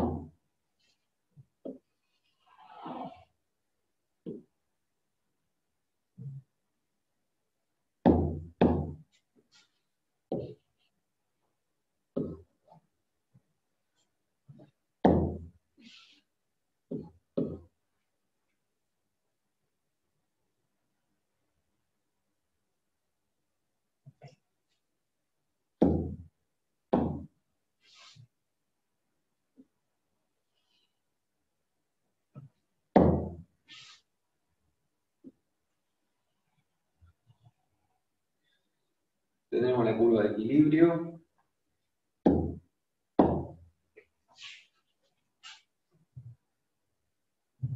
Lo que estamos diciendo aquí es que ubicado Z, donde sea,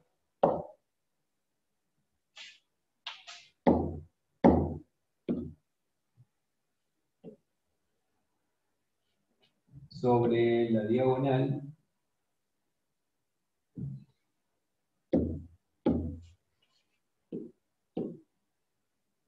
en este punto que estoy señalando, por ahí debe pasar la recta Q.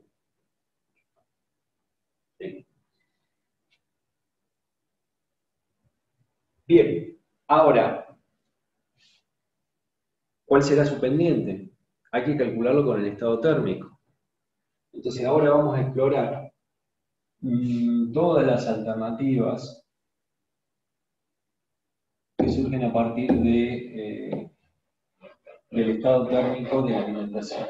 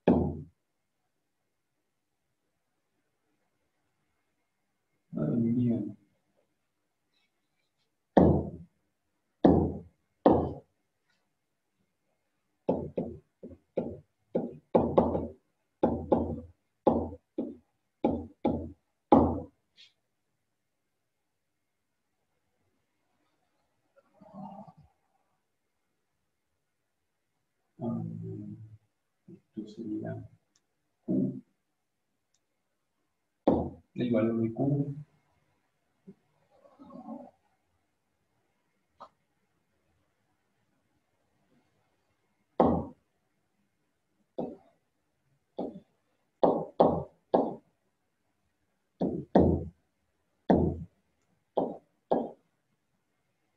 y la pendiente. Estamos hablando de la pendiente.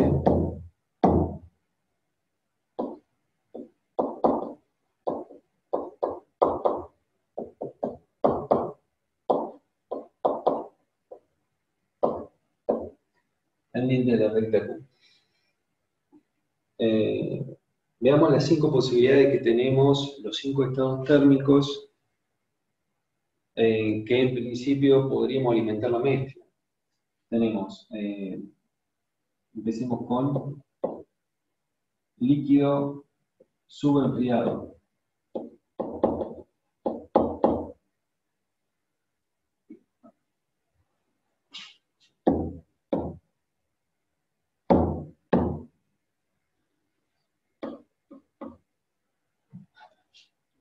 dijimos que es H del gas saturado menos H de la alimentación dividido delta H de vaporización.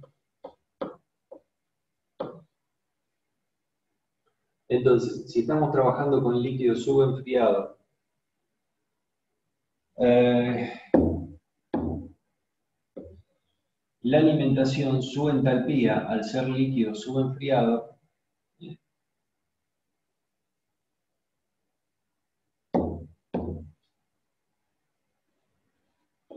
HF será menor que H de líquido saturado. Esto significa que la diferencia de entalpías en el numerador va a ser mayor, estoy haciendo esta diferencia, esta diferencia, la del numerador, va a ser mayor que la diferencia del denominador. Significa que Q va a ser mayor que 0 perdón, mayor que 1.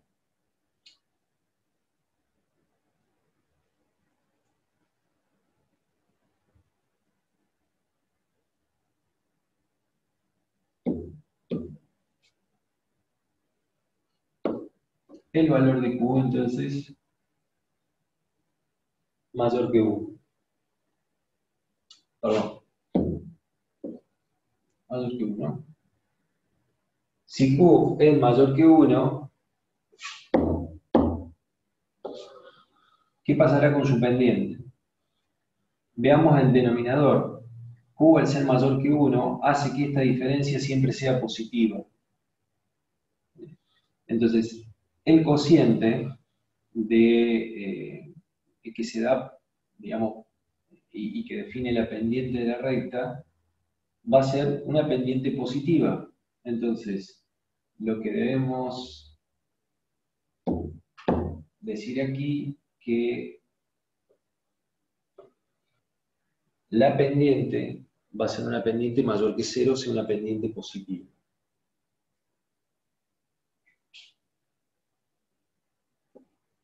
Si es líquido saturado,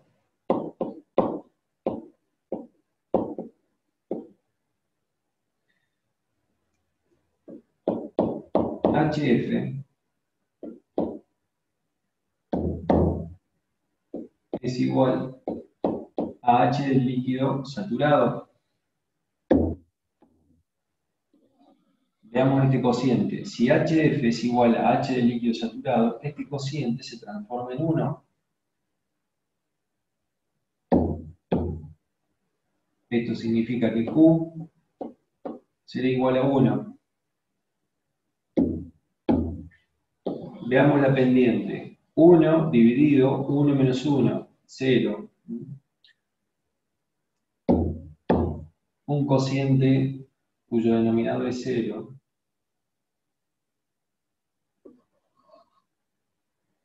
La pendiente es infinito. ¿Qué significa eso? Que es una línea vertical.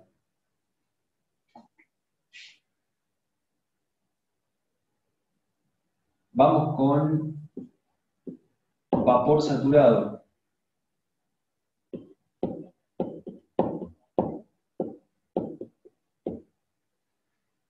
sería el otro extremo. La alimentación entonces ingresa como H del gas saturado. Si eso es así, veamos este cociente. HF es igual a HG sub S. Este cociente es 0, con lo cual el Q resultante es igual a 0. Veamos la pendiente. 0 dividido cualquier valor, no interesa. Estamos diciendo que en este caso la pendiente de la recta Q es 0. Es decir, una línea horizontal.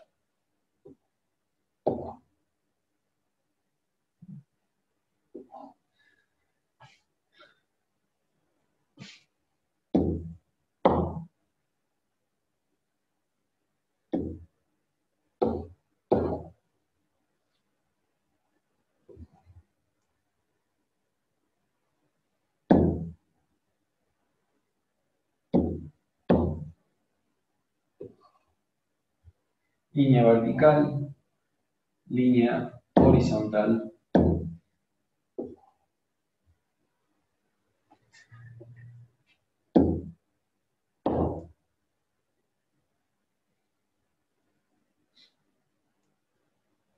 Si trabajamos con una mezcla líquido-vapor, si alimentamos líquido-vapor, entonces, la entalpía de la alimentación será mayor a la entalpía del líquido saturado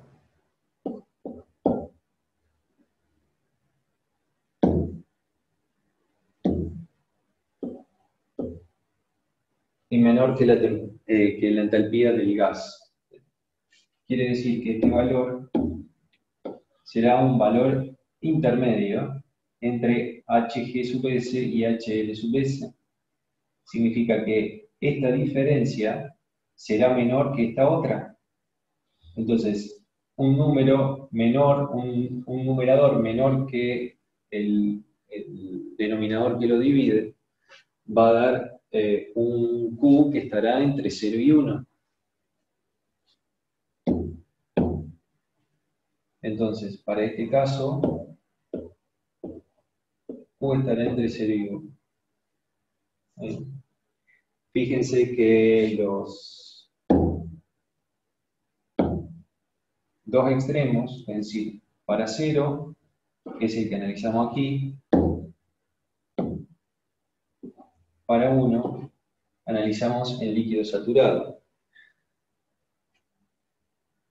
Entonces, para el caso de mezcla líquido-vapor, la recta estará entre la vertical, que es uno de los extremos, uno de los límites, y la horizontal, que es el otro límite que tenemos en el, desarrollo.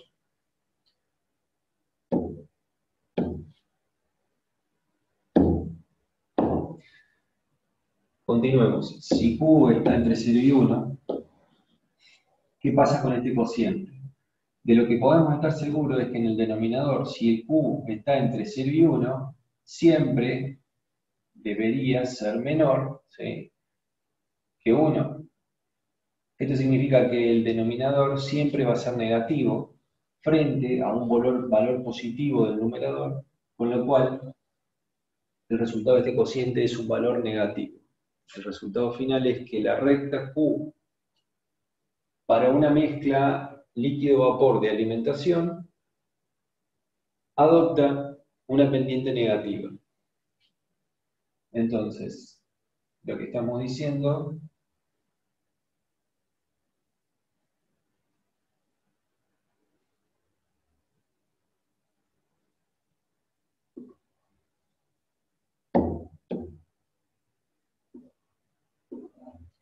la pendiente será menor a cero pendiente negativa. El quinto caso y último sería vapor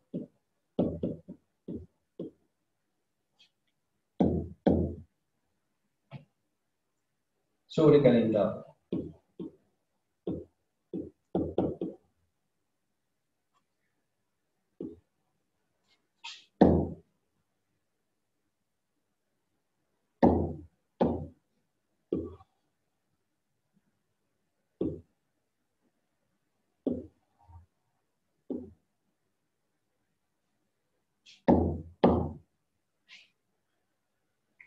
Si es vapor sobrecalentado, HF es mayor que HG sub S. Significa que esta diferencia es negativa. Entonces, tenemos un valor negativo frente a dividido otro valor, un número, el resultado final de Q es eh, un valor negativo para Q.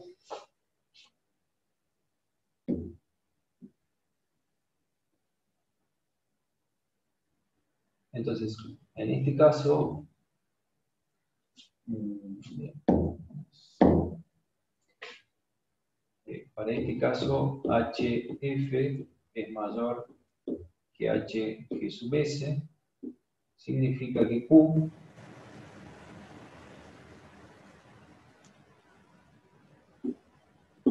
es menor que cero.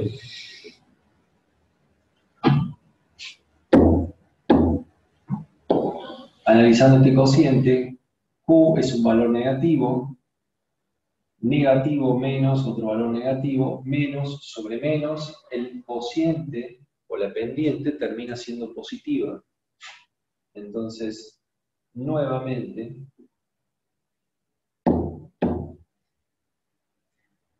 para el caso de vapor sobrecalentado, la pendiente es mayor a cero, pendiente positiva.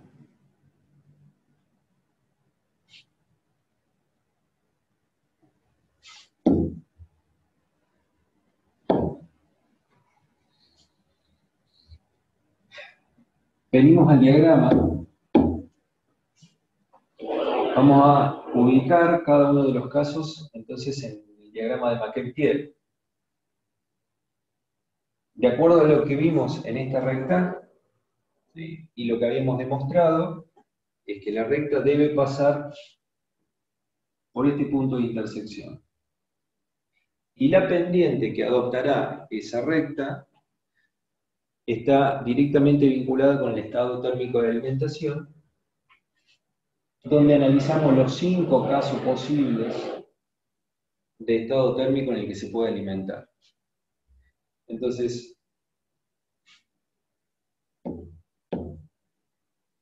veamos el primero, o veamos mejor estos dos casos, líquido saturado y vapor saturado, que son los más sencillos. Si alimentamos líquido saturado, dijimos que es una línea, una línea vertical directamente, entonces en Z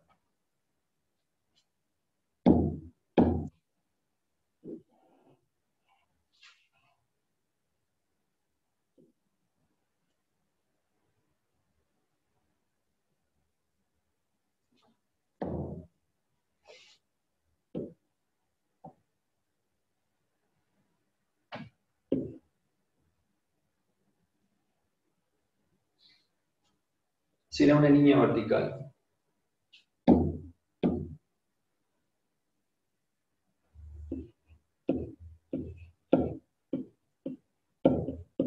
Líquido saturado. Vamos a vapor saturado.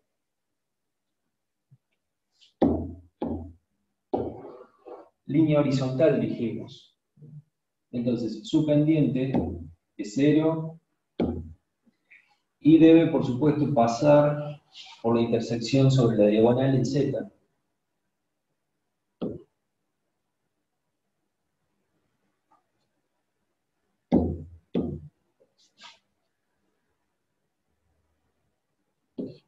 Esto será vapor saturado.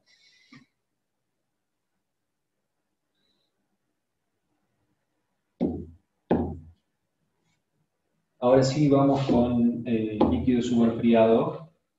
Dijimos que el líquido subenfriado tiene una pendiente mayor a cero, una pendiente positiva.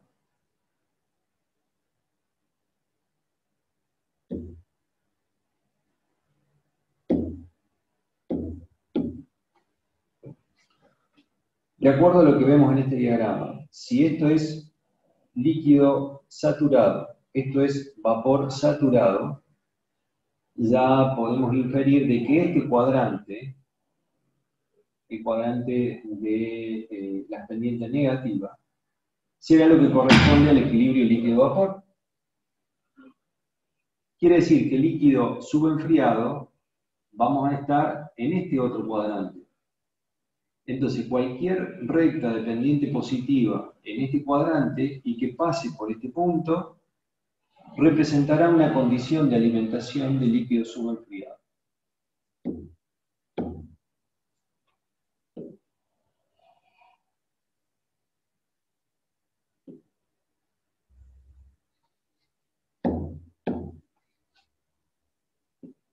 Será líquido subenfriado.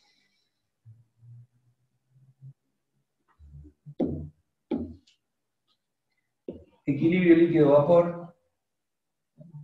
Dijimos que la pendiente es negativa.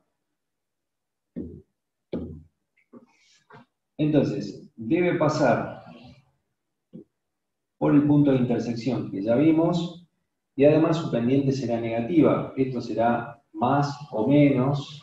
Eh, si la alimentación tiene un título de vapor chico, eh, pequeño, significa que su fracción de líquido es superior, es mayor, con lo cual su pendiente se acercará a la vertical del líquido saturado. Por el contrario, si tenemos un título de vapor importante, eh, una fracción de vapor grande, significa que hay mucho vapor en proporción al líquido y la pendiente de esta recta se acercará a vapor saturado. Esta recta se moverá en este cuadrante, en cualquiera de sus posicionamientos tiene una pendiente negativa y por supuesto el punto pivot que mantiene es el de z sobre la diagonal, por lo que he demostrado. Entonces, posiciono como para dar un ejemplo, esto será mezcla líquido-vapor. Y finalmente, lo último que nos queda es vapor sobrecalentado, donde la pendiente de la recta vuelve a ser positivo. Tenemos dos alternativas para ello. Una era este cuadrante y la otra es este cuadrante donde también la pendiente es positiva.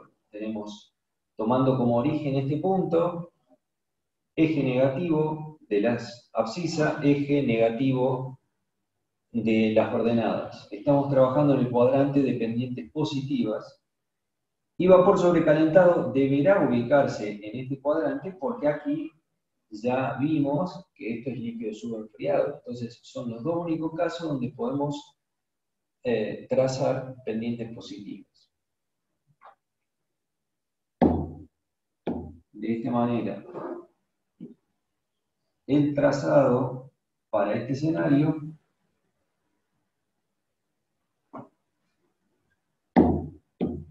será una recta que pasará por el punto de intersección de Z en la diagonal.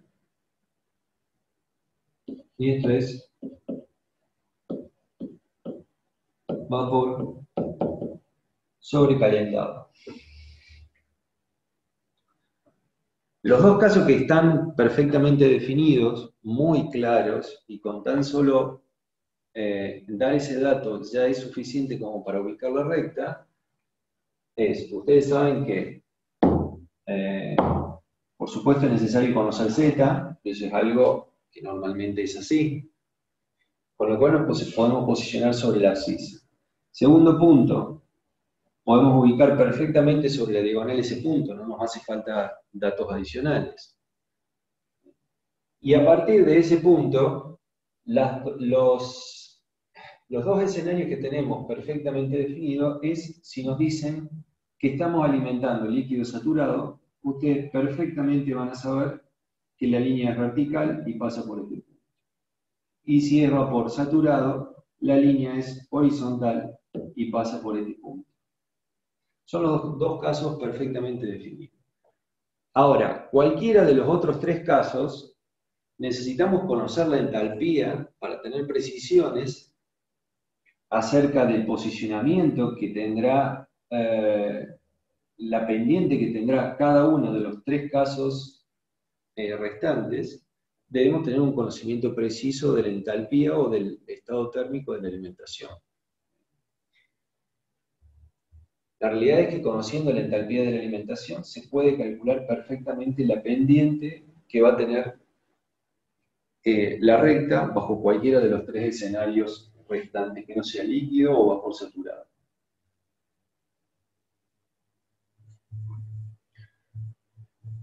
Ah, ok, ¿hasta aquí se entendió? ¿Estamos bien? Sí, profe. Ok.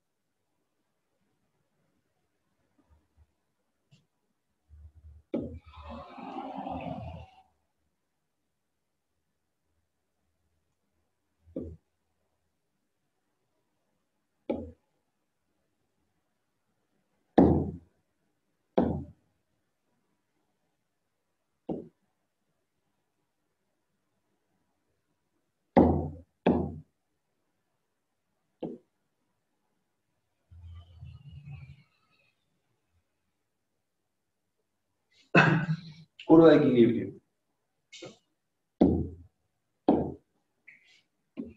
Diagrama de McKelpiel. Habíamos dicho, cuando analizamos la zona de enriquecimiento, ubicábamos XD y sobre la diagonal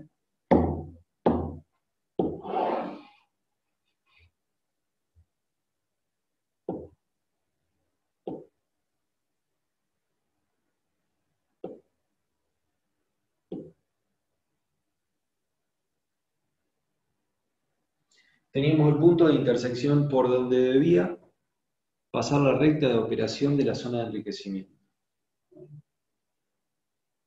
El otro dato era que si conocíamos la relación de reflujo,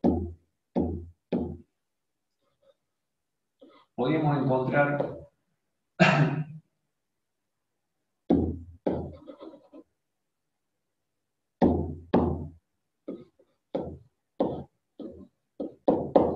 ordenada del origen.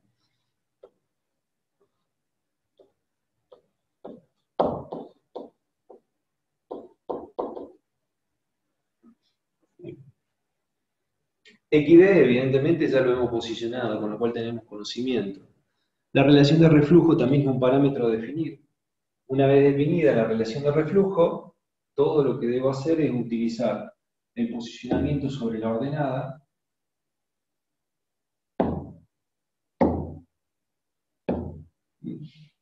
Supongamos.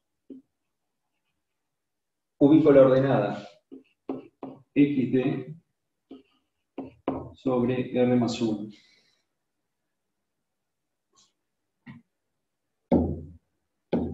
Con ambos puntos estoy en condiciones de hacer el trazado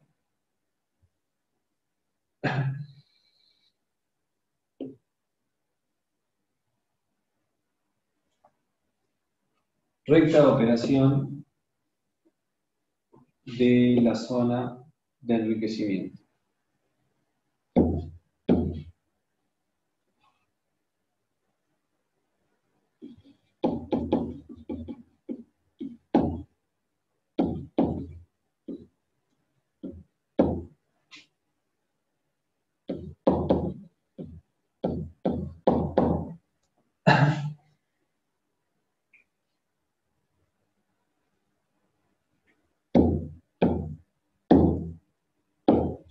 Por el otro lado, composición del residuo.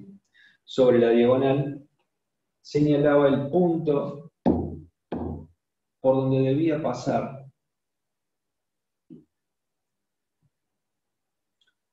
La recta de operación de la zona de agotamiento.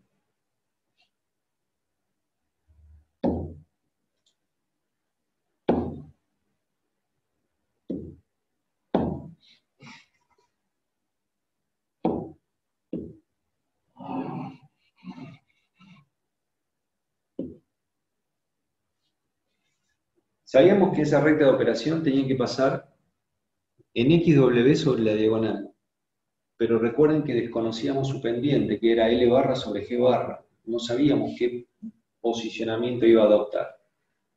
A raíz de eso hicimos el desarrollo de la intersección a partir de considerar la intersección de ambas curvas, la zona de enriquecimiento y zona de agotamiento, a partir de considerar ese punto de intersección, recuerden que obtuvimos la expresión de una línea recta resultante que pasa por este punto y además pasaba por el punto de Z sobre la diagonal, que es la recta Q.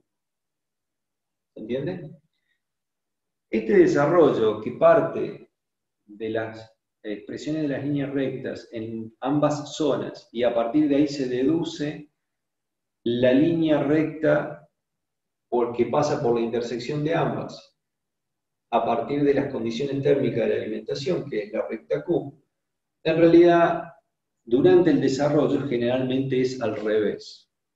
Dijimos L barra sobre G barra no lo podemos conocer, con lo cual la pendiente de esta recta de operación no la podemos conocer. Todo lo que sabemos es que pasa por esta intersección.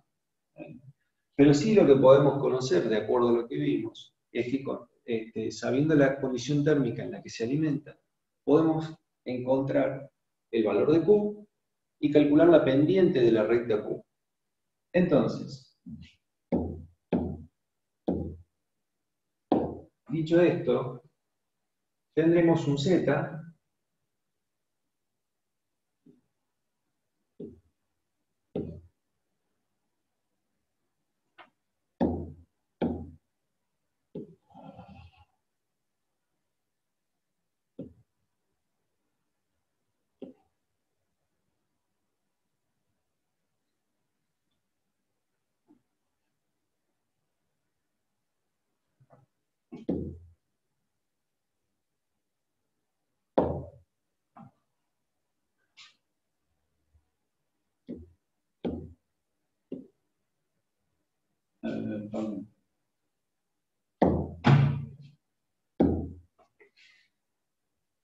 Por el momento voy a borrar, eh, a ver, lo dejo así, lo explico así y después eh, busco por otro lado.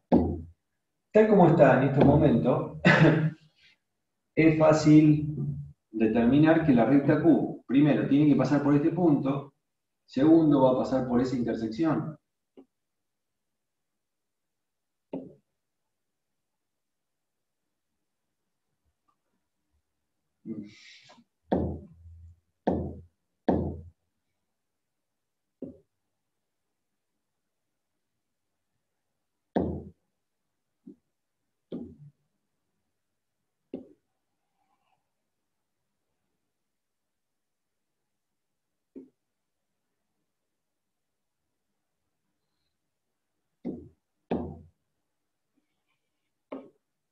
Esta será la recta Q. Entonces, si ese es el punto, claramente la recta Q tendrá esa pendiente. Y de acuerdo a la pendiente de esa recta Q, ustedes estarán en condiciones de afirmar que el estado térmico de la alimentación es un equilibrio líquido-vapor. Quizás por la pendiente que veo ahí, la proporción sea más mayor de líquido que de vapor. Eh,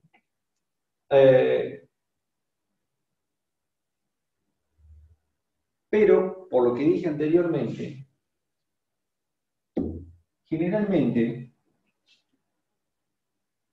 la recta de operación de la zona de, eh, de la zona de agotamiento, no, no, estamos generalmente en condiciones de poder trazarla en este momento.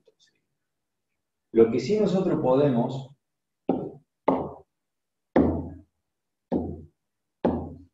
con las condiciones térmicas de la alimentación, podemos encontrar, dijimos, la recta Q. Y estamos en perfectas condiciones, dado que Z lo conocemos, ubicamos el punto de intersección y supongamos que ingresa como líquido subenfriado, con lo cual tendrá esta pendiente.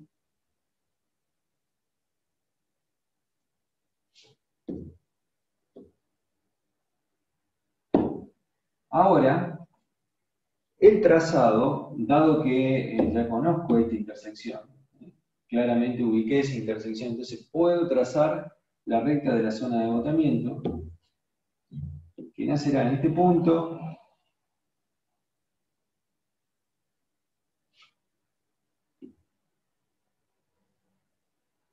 y pasará, nacerá en, en XW sobre la diagonal,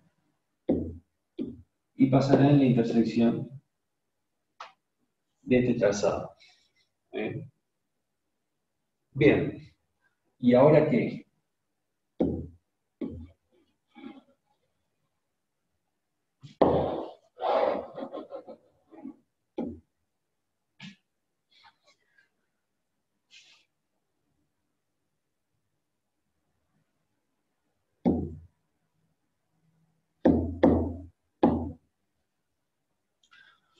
Veamos esto. Tenemos recta de operación de la zona de enriquecimiento, recta de operación de la zona de agotamiento. Ambas rectas de operación me definen, como su nombre lo indica, por dónde va a andar la operación de la torre. Es decir, dos corrientes cualquiera que estén entre cualquier etapa, que estén en operación entre sí, deben representar algún punto sobre alguna de las dos rectas de operación, dependiendo si están de enriquecimiento o de agotamiento. Por el otro lado, la curva de equilibrio es la que va a determinar la limitante de la separación o de la operación. O sea, marca como el techo de la operación. El trazado de las etapas, para saber cuántas etapas están involucradas para lograr un cambio entre de XD a XW, en realidad la expresión correcta es alimento Z y el cambio que logro es un destilado de XD y de Z un fondo o un residuo de XW. Para lograr este cambio de Z a los productos de salida de la operación de destilación, necesito X etapas.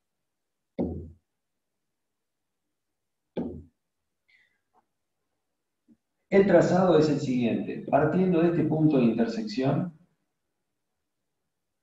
vamos a hacerlo de color.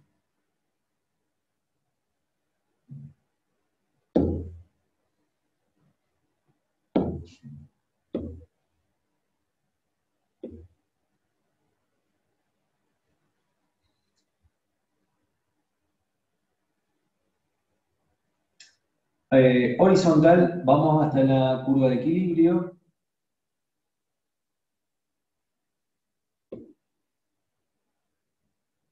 Luego vertical hasta la recta de operación de la zona de enriquecimiento.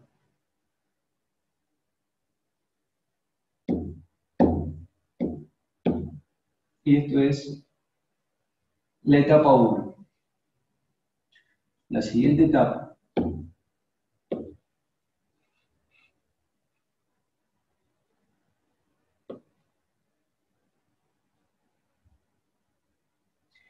horizontal que nace en este punto intersección y vamos hasta cortar la curva de equilibrio.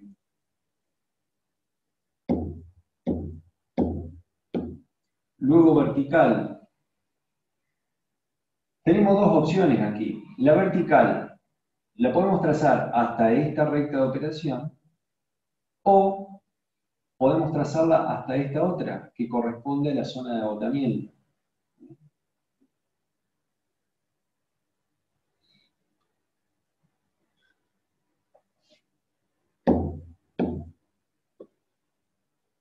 Etapa 2.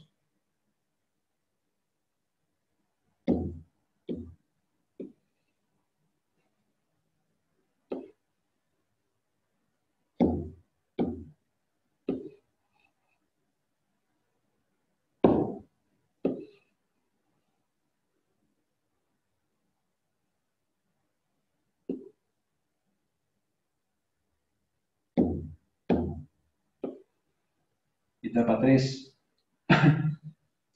es decir, repito el procedimiento, voy con la horizontal hasta la curva de equilibrio.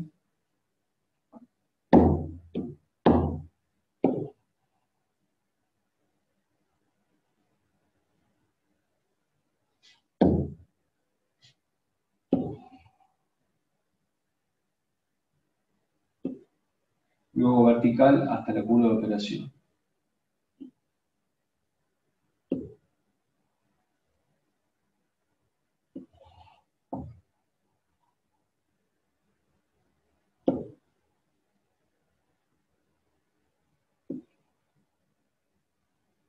Este procedimiento lo reitero hasta lograr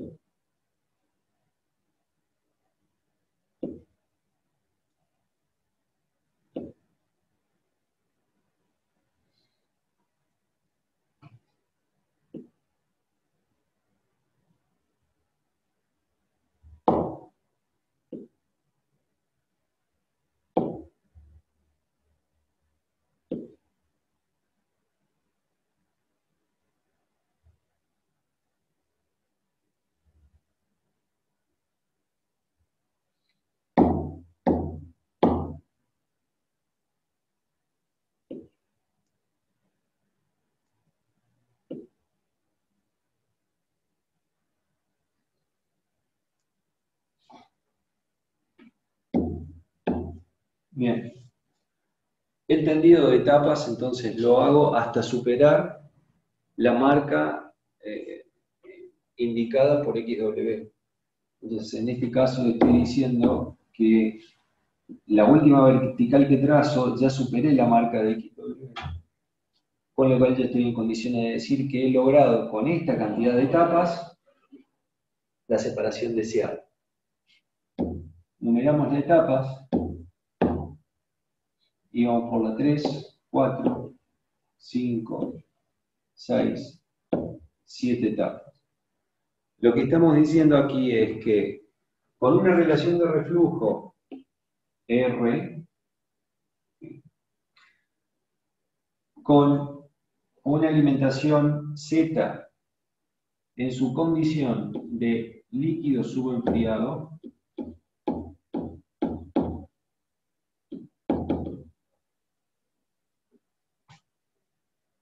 para obtener una separación de, con un, destilado con una especificación de XD y un residuo con una especificación de XW, necesito una columna de destilación de siete etapas, donde la alimentación, esto es una pregunta, la alimentación, ¿dónde se ubicará?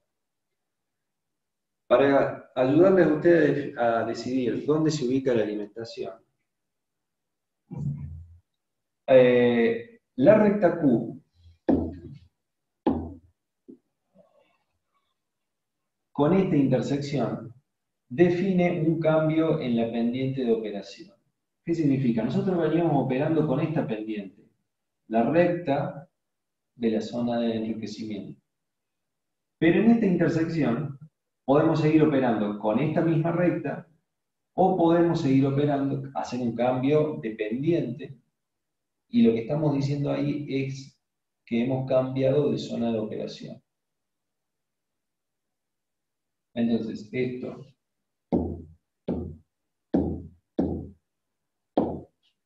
en términos... Perdón, profe, ¿puede repetir eso último? Eh, lo último, último que dijo, lo de que genera un cambio en la operación. Sí. Una pendiente, lo así. Correcto, ya lo, ya lo hacemos. Quizá ahora explicando quede un poco más claro.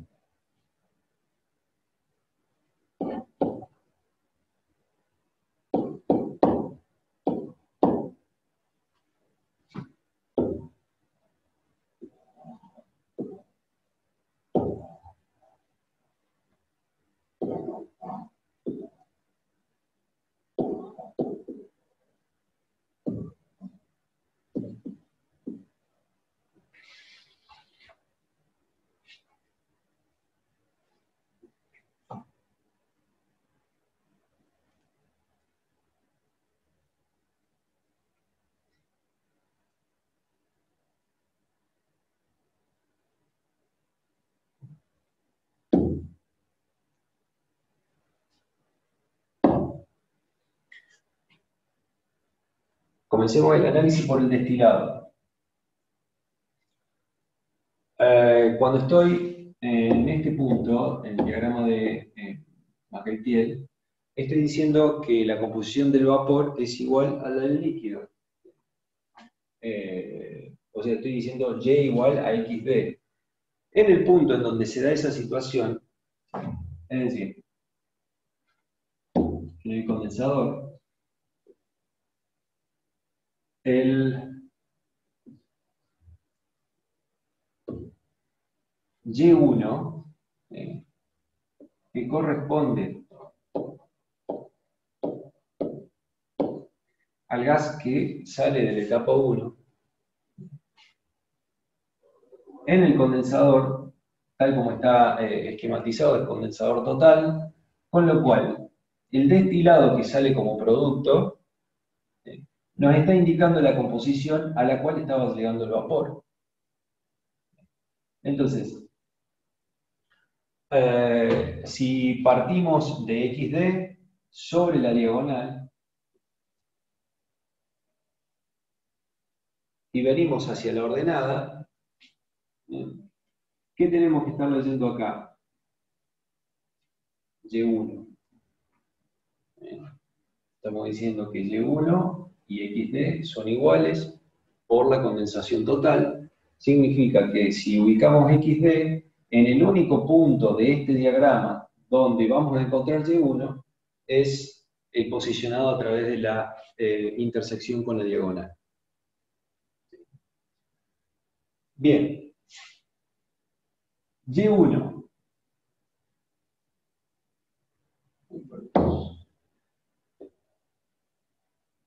está en equilibrio, esto es L y X1. Y1 está en equilibrio con X1. Es decir, que esta etapa,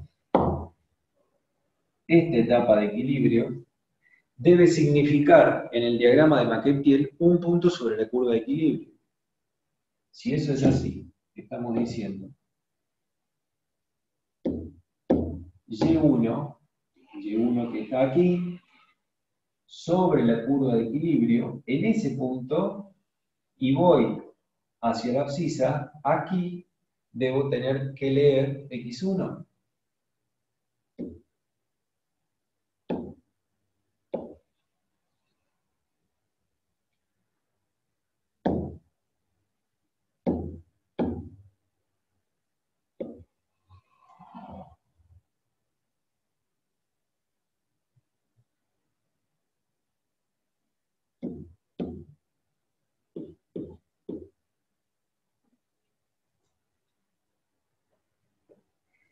En este diagrama,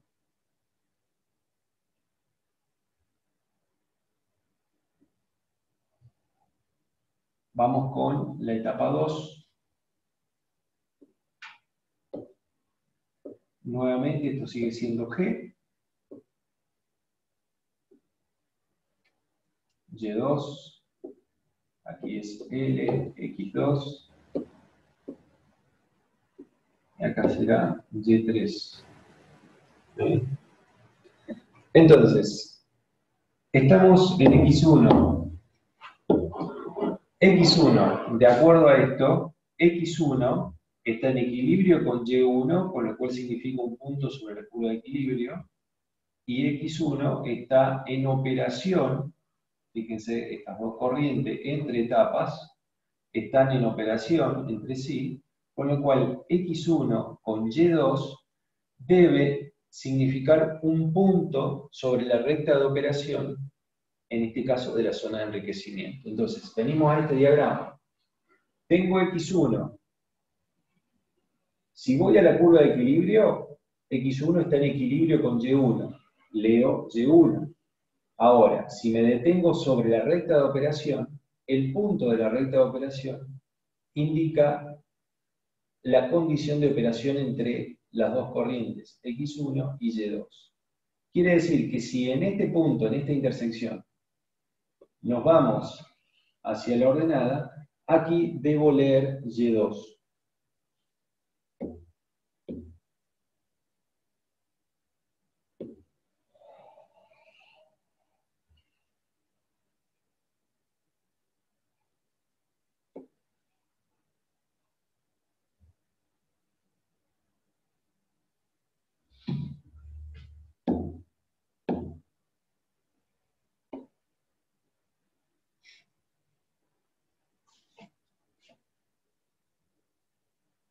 Y2 está en equilibrio con X2.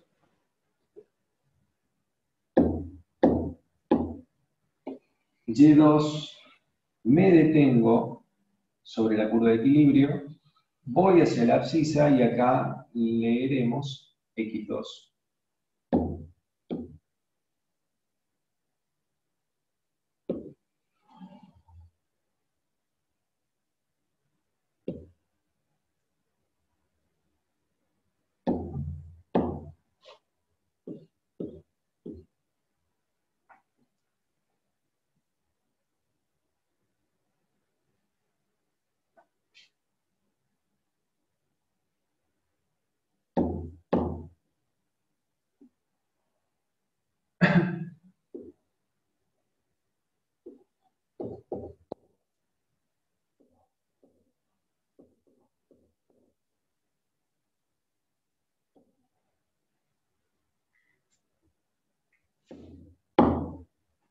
Ahora, X2 está en operación con Y3. Entonces vengo aquí.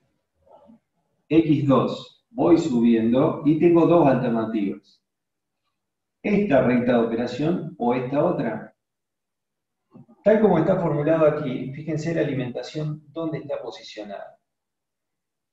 El punto de posicionamiento de la alimentación marca el corte o el quiebre o de alguna manera el cambio en la pendiente de la recta de operación. Entonces, si en la zona de enriquecimiento vengo operando con esta recta de operación de esta pendiente, la alimentación genera el cambio en esa pendiente de la recta de operación y ya todas las corrientes que estén por debajo deben operar con la recta de operación de la zona de agotamiento, que es esta. Entonces, de acuerdo a eso, X2 está en operación con Y3, si venimos aquí, X2, subo, y en esta recta de operación, en esta intersección, voy hacia la ordenada y debo leer Y3.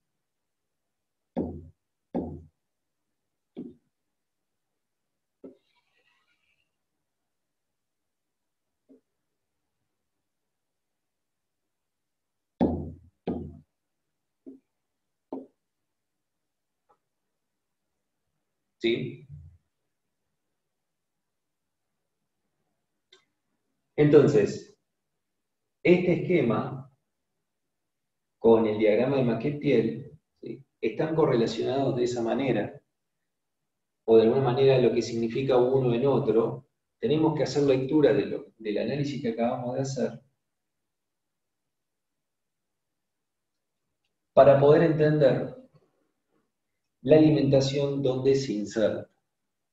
Tal como está desarrollado en el diagrama Maquet-Piel, la alimentación se inserta en el plato óptimo de alimentación, porque el desarrollo natural del diseño se dio de esta manera.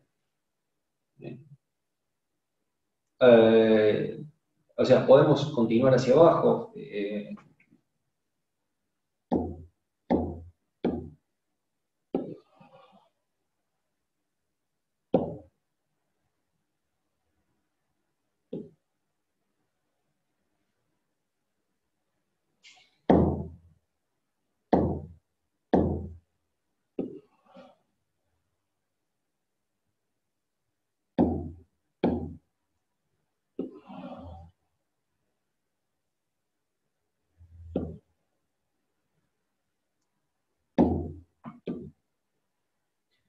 Entonces, eh, Y3, Y3 está en equilibrio con X3.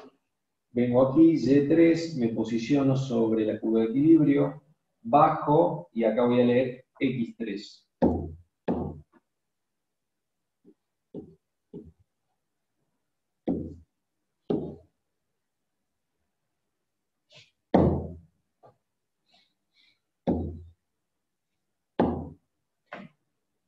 X3 está en operación con Y4.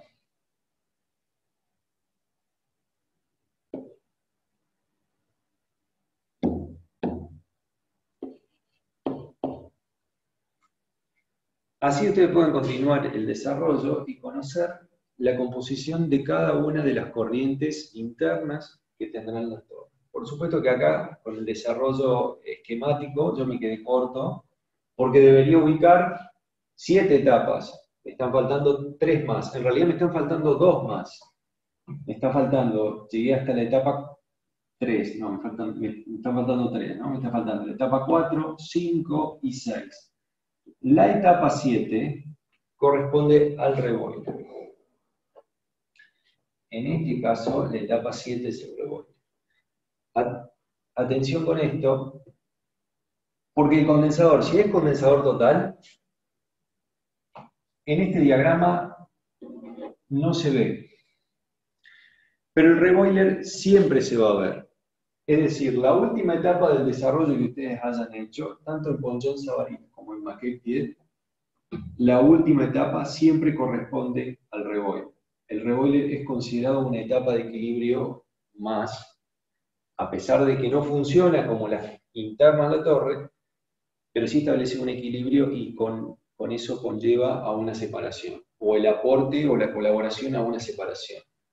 Entonces, eh, debemos adoptarlo de esta manera.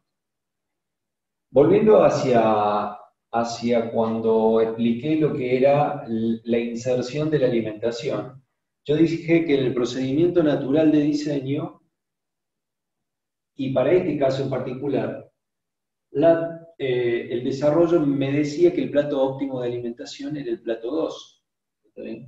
Pero, ¿qué pasa si tengo la torre construida? O sea, esta misma torre, tengo una torre de siete etapas. Y la boca de la alimentación no está construido en el plato 2, sino está construido en el plato 3. Debo forzar a que la alimentación ingrese en el plato 3. Si es esa la situación, entonces, eh, Vamos a borrar esto.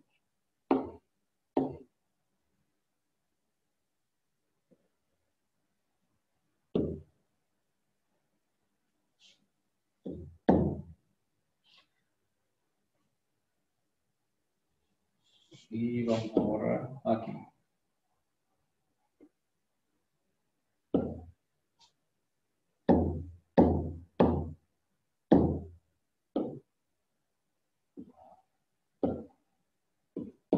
mutación FZ ingresa en la etapa 3.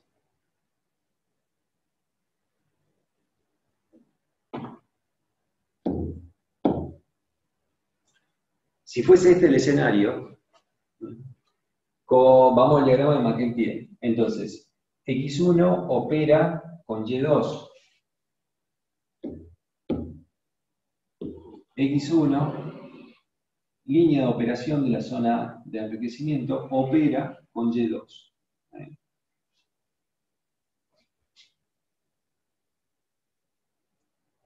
Y2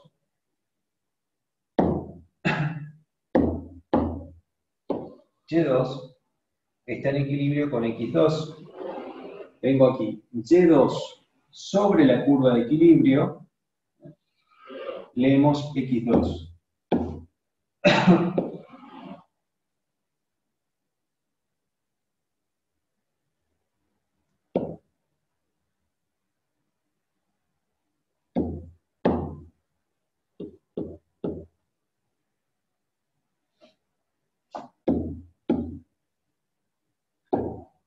X2 opera con Y3. En X2 subimos, dijimos que tenemos dos alternativas de recta de operación. En el caso natural de, desarrollo, dijimos, bueno, ya estamos en condiciones de pasar a operar con la recta de operación de la zona de agotamiento. Ahora, si la torre está construida y estamos forzando que la alimentación ingrese en la etapa 3, entonces, estoy diciendo que la etapa 2 es una etapa que pertenece a la zona de enriquecimiento y la operación de X2 con Y3 se da en la zona de enriquecimiento. Entonces con X2 subo y no puedo detenerme acá, porque lo que estoy diciendo es que está operando en la zona de enriquecimiento, tengo que hacer uso de esta recta de operación. Entonces ahora el desarrollo es, a partir de este punto,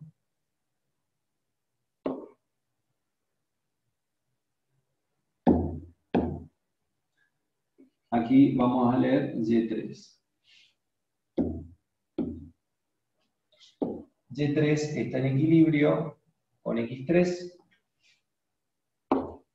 Y3 sobre la curva de equilibrio en la abscisa vamos a leer X3. Perdón.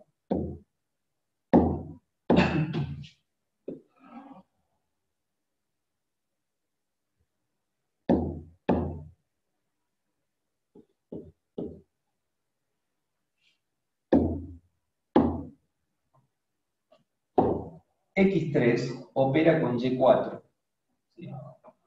Venimos aquí. X3. Subo. Nuevamente tengo dos rectas de operación factibles. Pero fíjense la alimentación donde está posicionada. Esto marca el quiebre o el cambio en la recta de operación. Entonces, si vengo trabajando con recta de operación en la zona de enriquecimiento, la alimentación me indica que debo generar un cambio en la recta de operación. Entonces, en X3 me detengo sobre esta intersección, que corresponde a la intersección con la curva con la recta de operación de la zona de agotamiento, voy a abscisa y aquí es donde voy a leer Y4.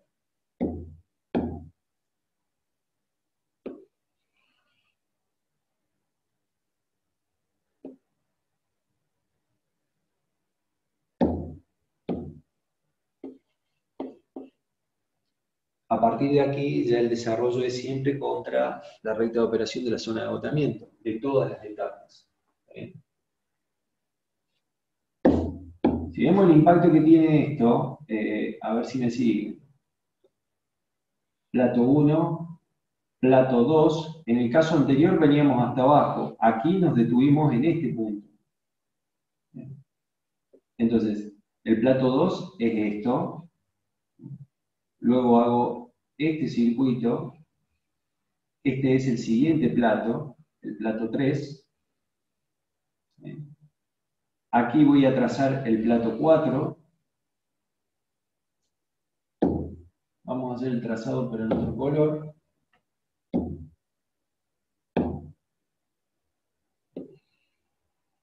Plato 4. Plato 5. Plato 6, plato 7, plato 8.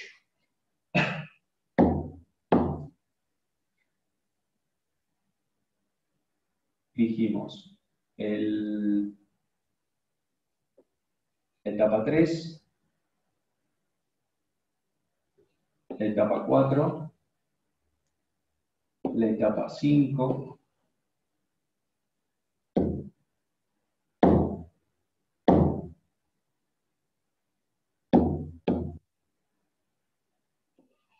la etapa 6, 7, 8.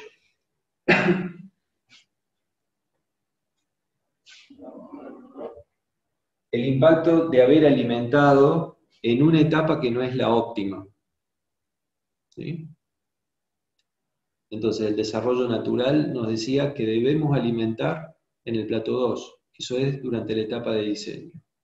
Si es durante la etapa de verificación, es decir, el equipo ya lo tengo construido y la boca de alimentación me dice que es en la etapa 3. Entonces debo forzar a que la alimentación sea la etapa 3. El resultado final es que para una misma alimentación, para lograr una especificación de salida de XD y XW, para esa torre de destilación voy a necesitar 8 etapas y no 7. Conclusión. Si no estoy generando la alimentación, no, estoy, eh, no introduzco la alimentación en la etapa óptima, el impacto que tiene generalmente se traduce en la necesidad de una mayor cantidad de etapas para lograr las mismas especificaciones de salida y frente a las mismas condiciones de todas las variables restantes. Estoy hablando de relación de reflujo, estado térmico de la alimentación, composición de la alimentación. ¿Sí? Eh, podría haberse dado al revés, esto lo digo muy, muy en, teoría, o sea, eh, esta alimentación que se alimenta en la etapa 1, en lugar de ¿Qué significa eso? Que no es, la etapa 1 tampoco es la etapa óptima de alimentación. Entonces, si voy a forzar a alimentar en la etapa 1, cuando voy a trazar la etapa 2, mejor dicho, cuando hago el trazado de la etapa 1, ya me detengo en la recta de operación de la zona de agotamiento que aquí, tal como está formulada en este diagrama, no tengo posibilidad alguna de que suceda. Pero digo, nos podemos mover de la etapa óptima de alimentación hacia arriba o hacia abajo, y el impacto va a ser siempre el mismo frente al resultado final de la cantidad de etapas. Cualquier escenario distinto al de la etapa óptima de alimentación repercute en un incremento en el número de etapas necesarias para poder lograr la separación deseada.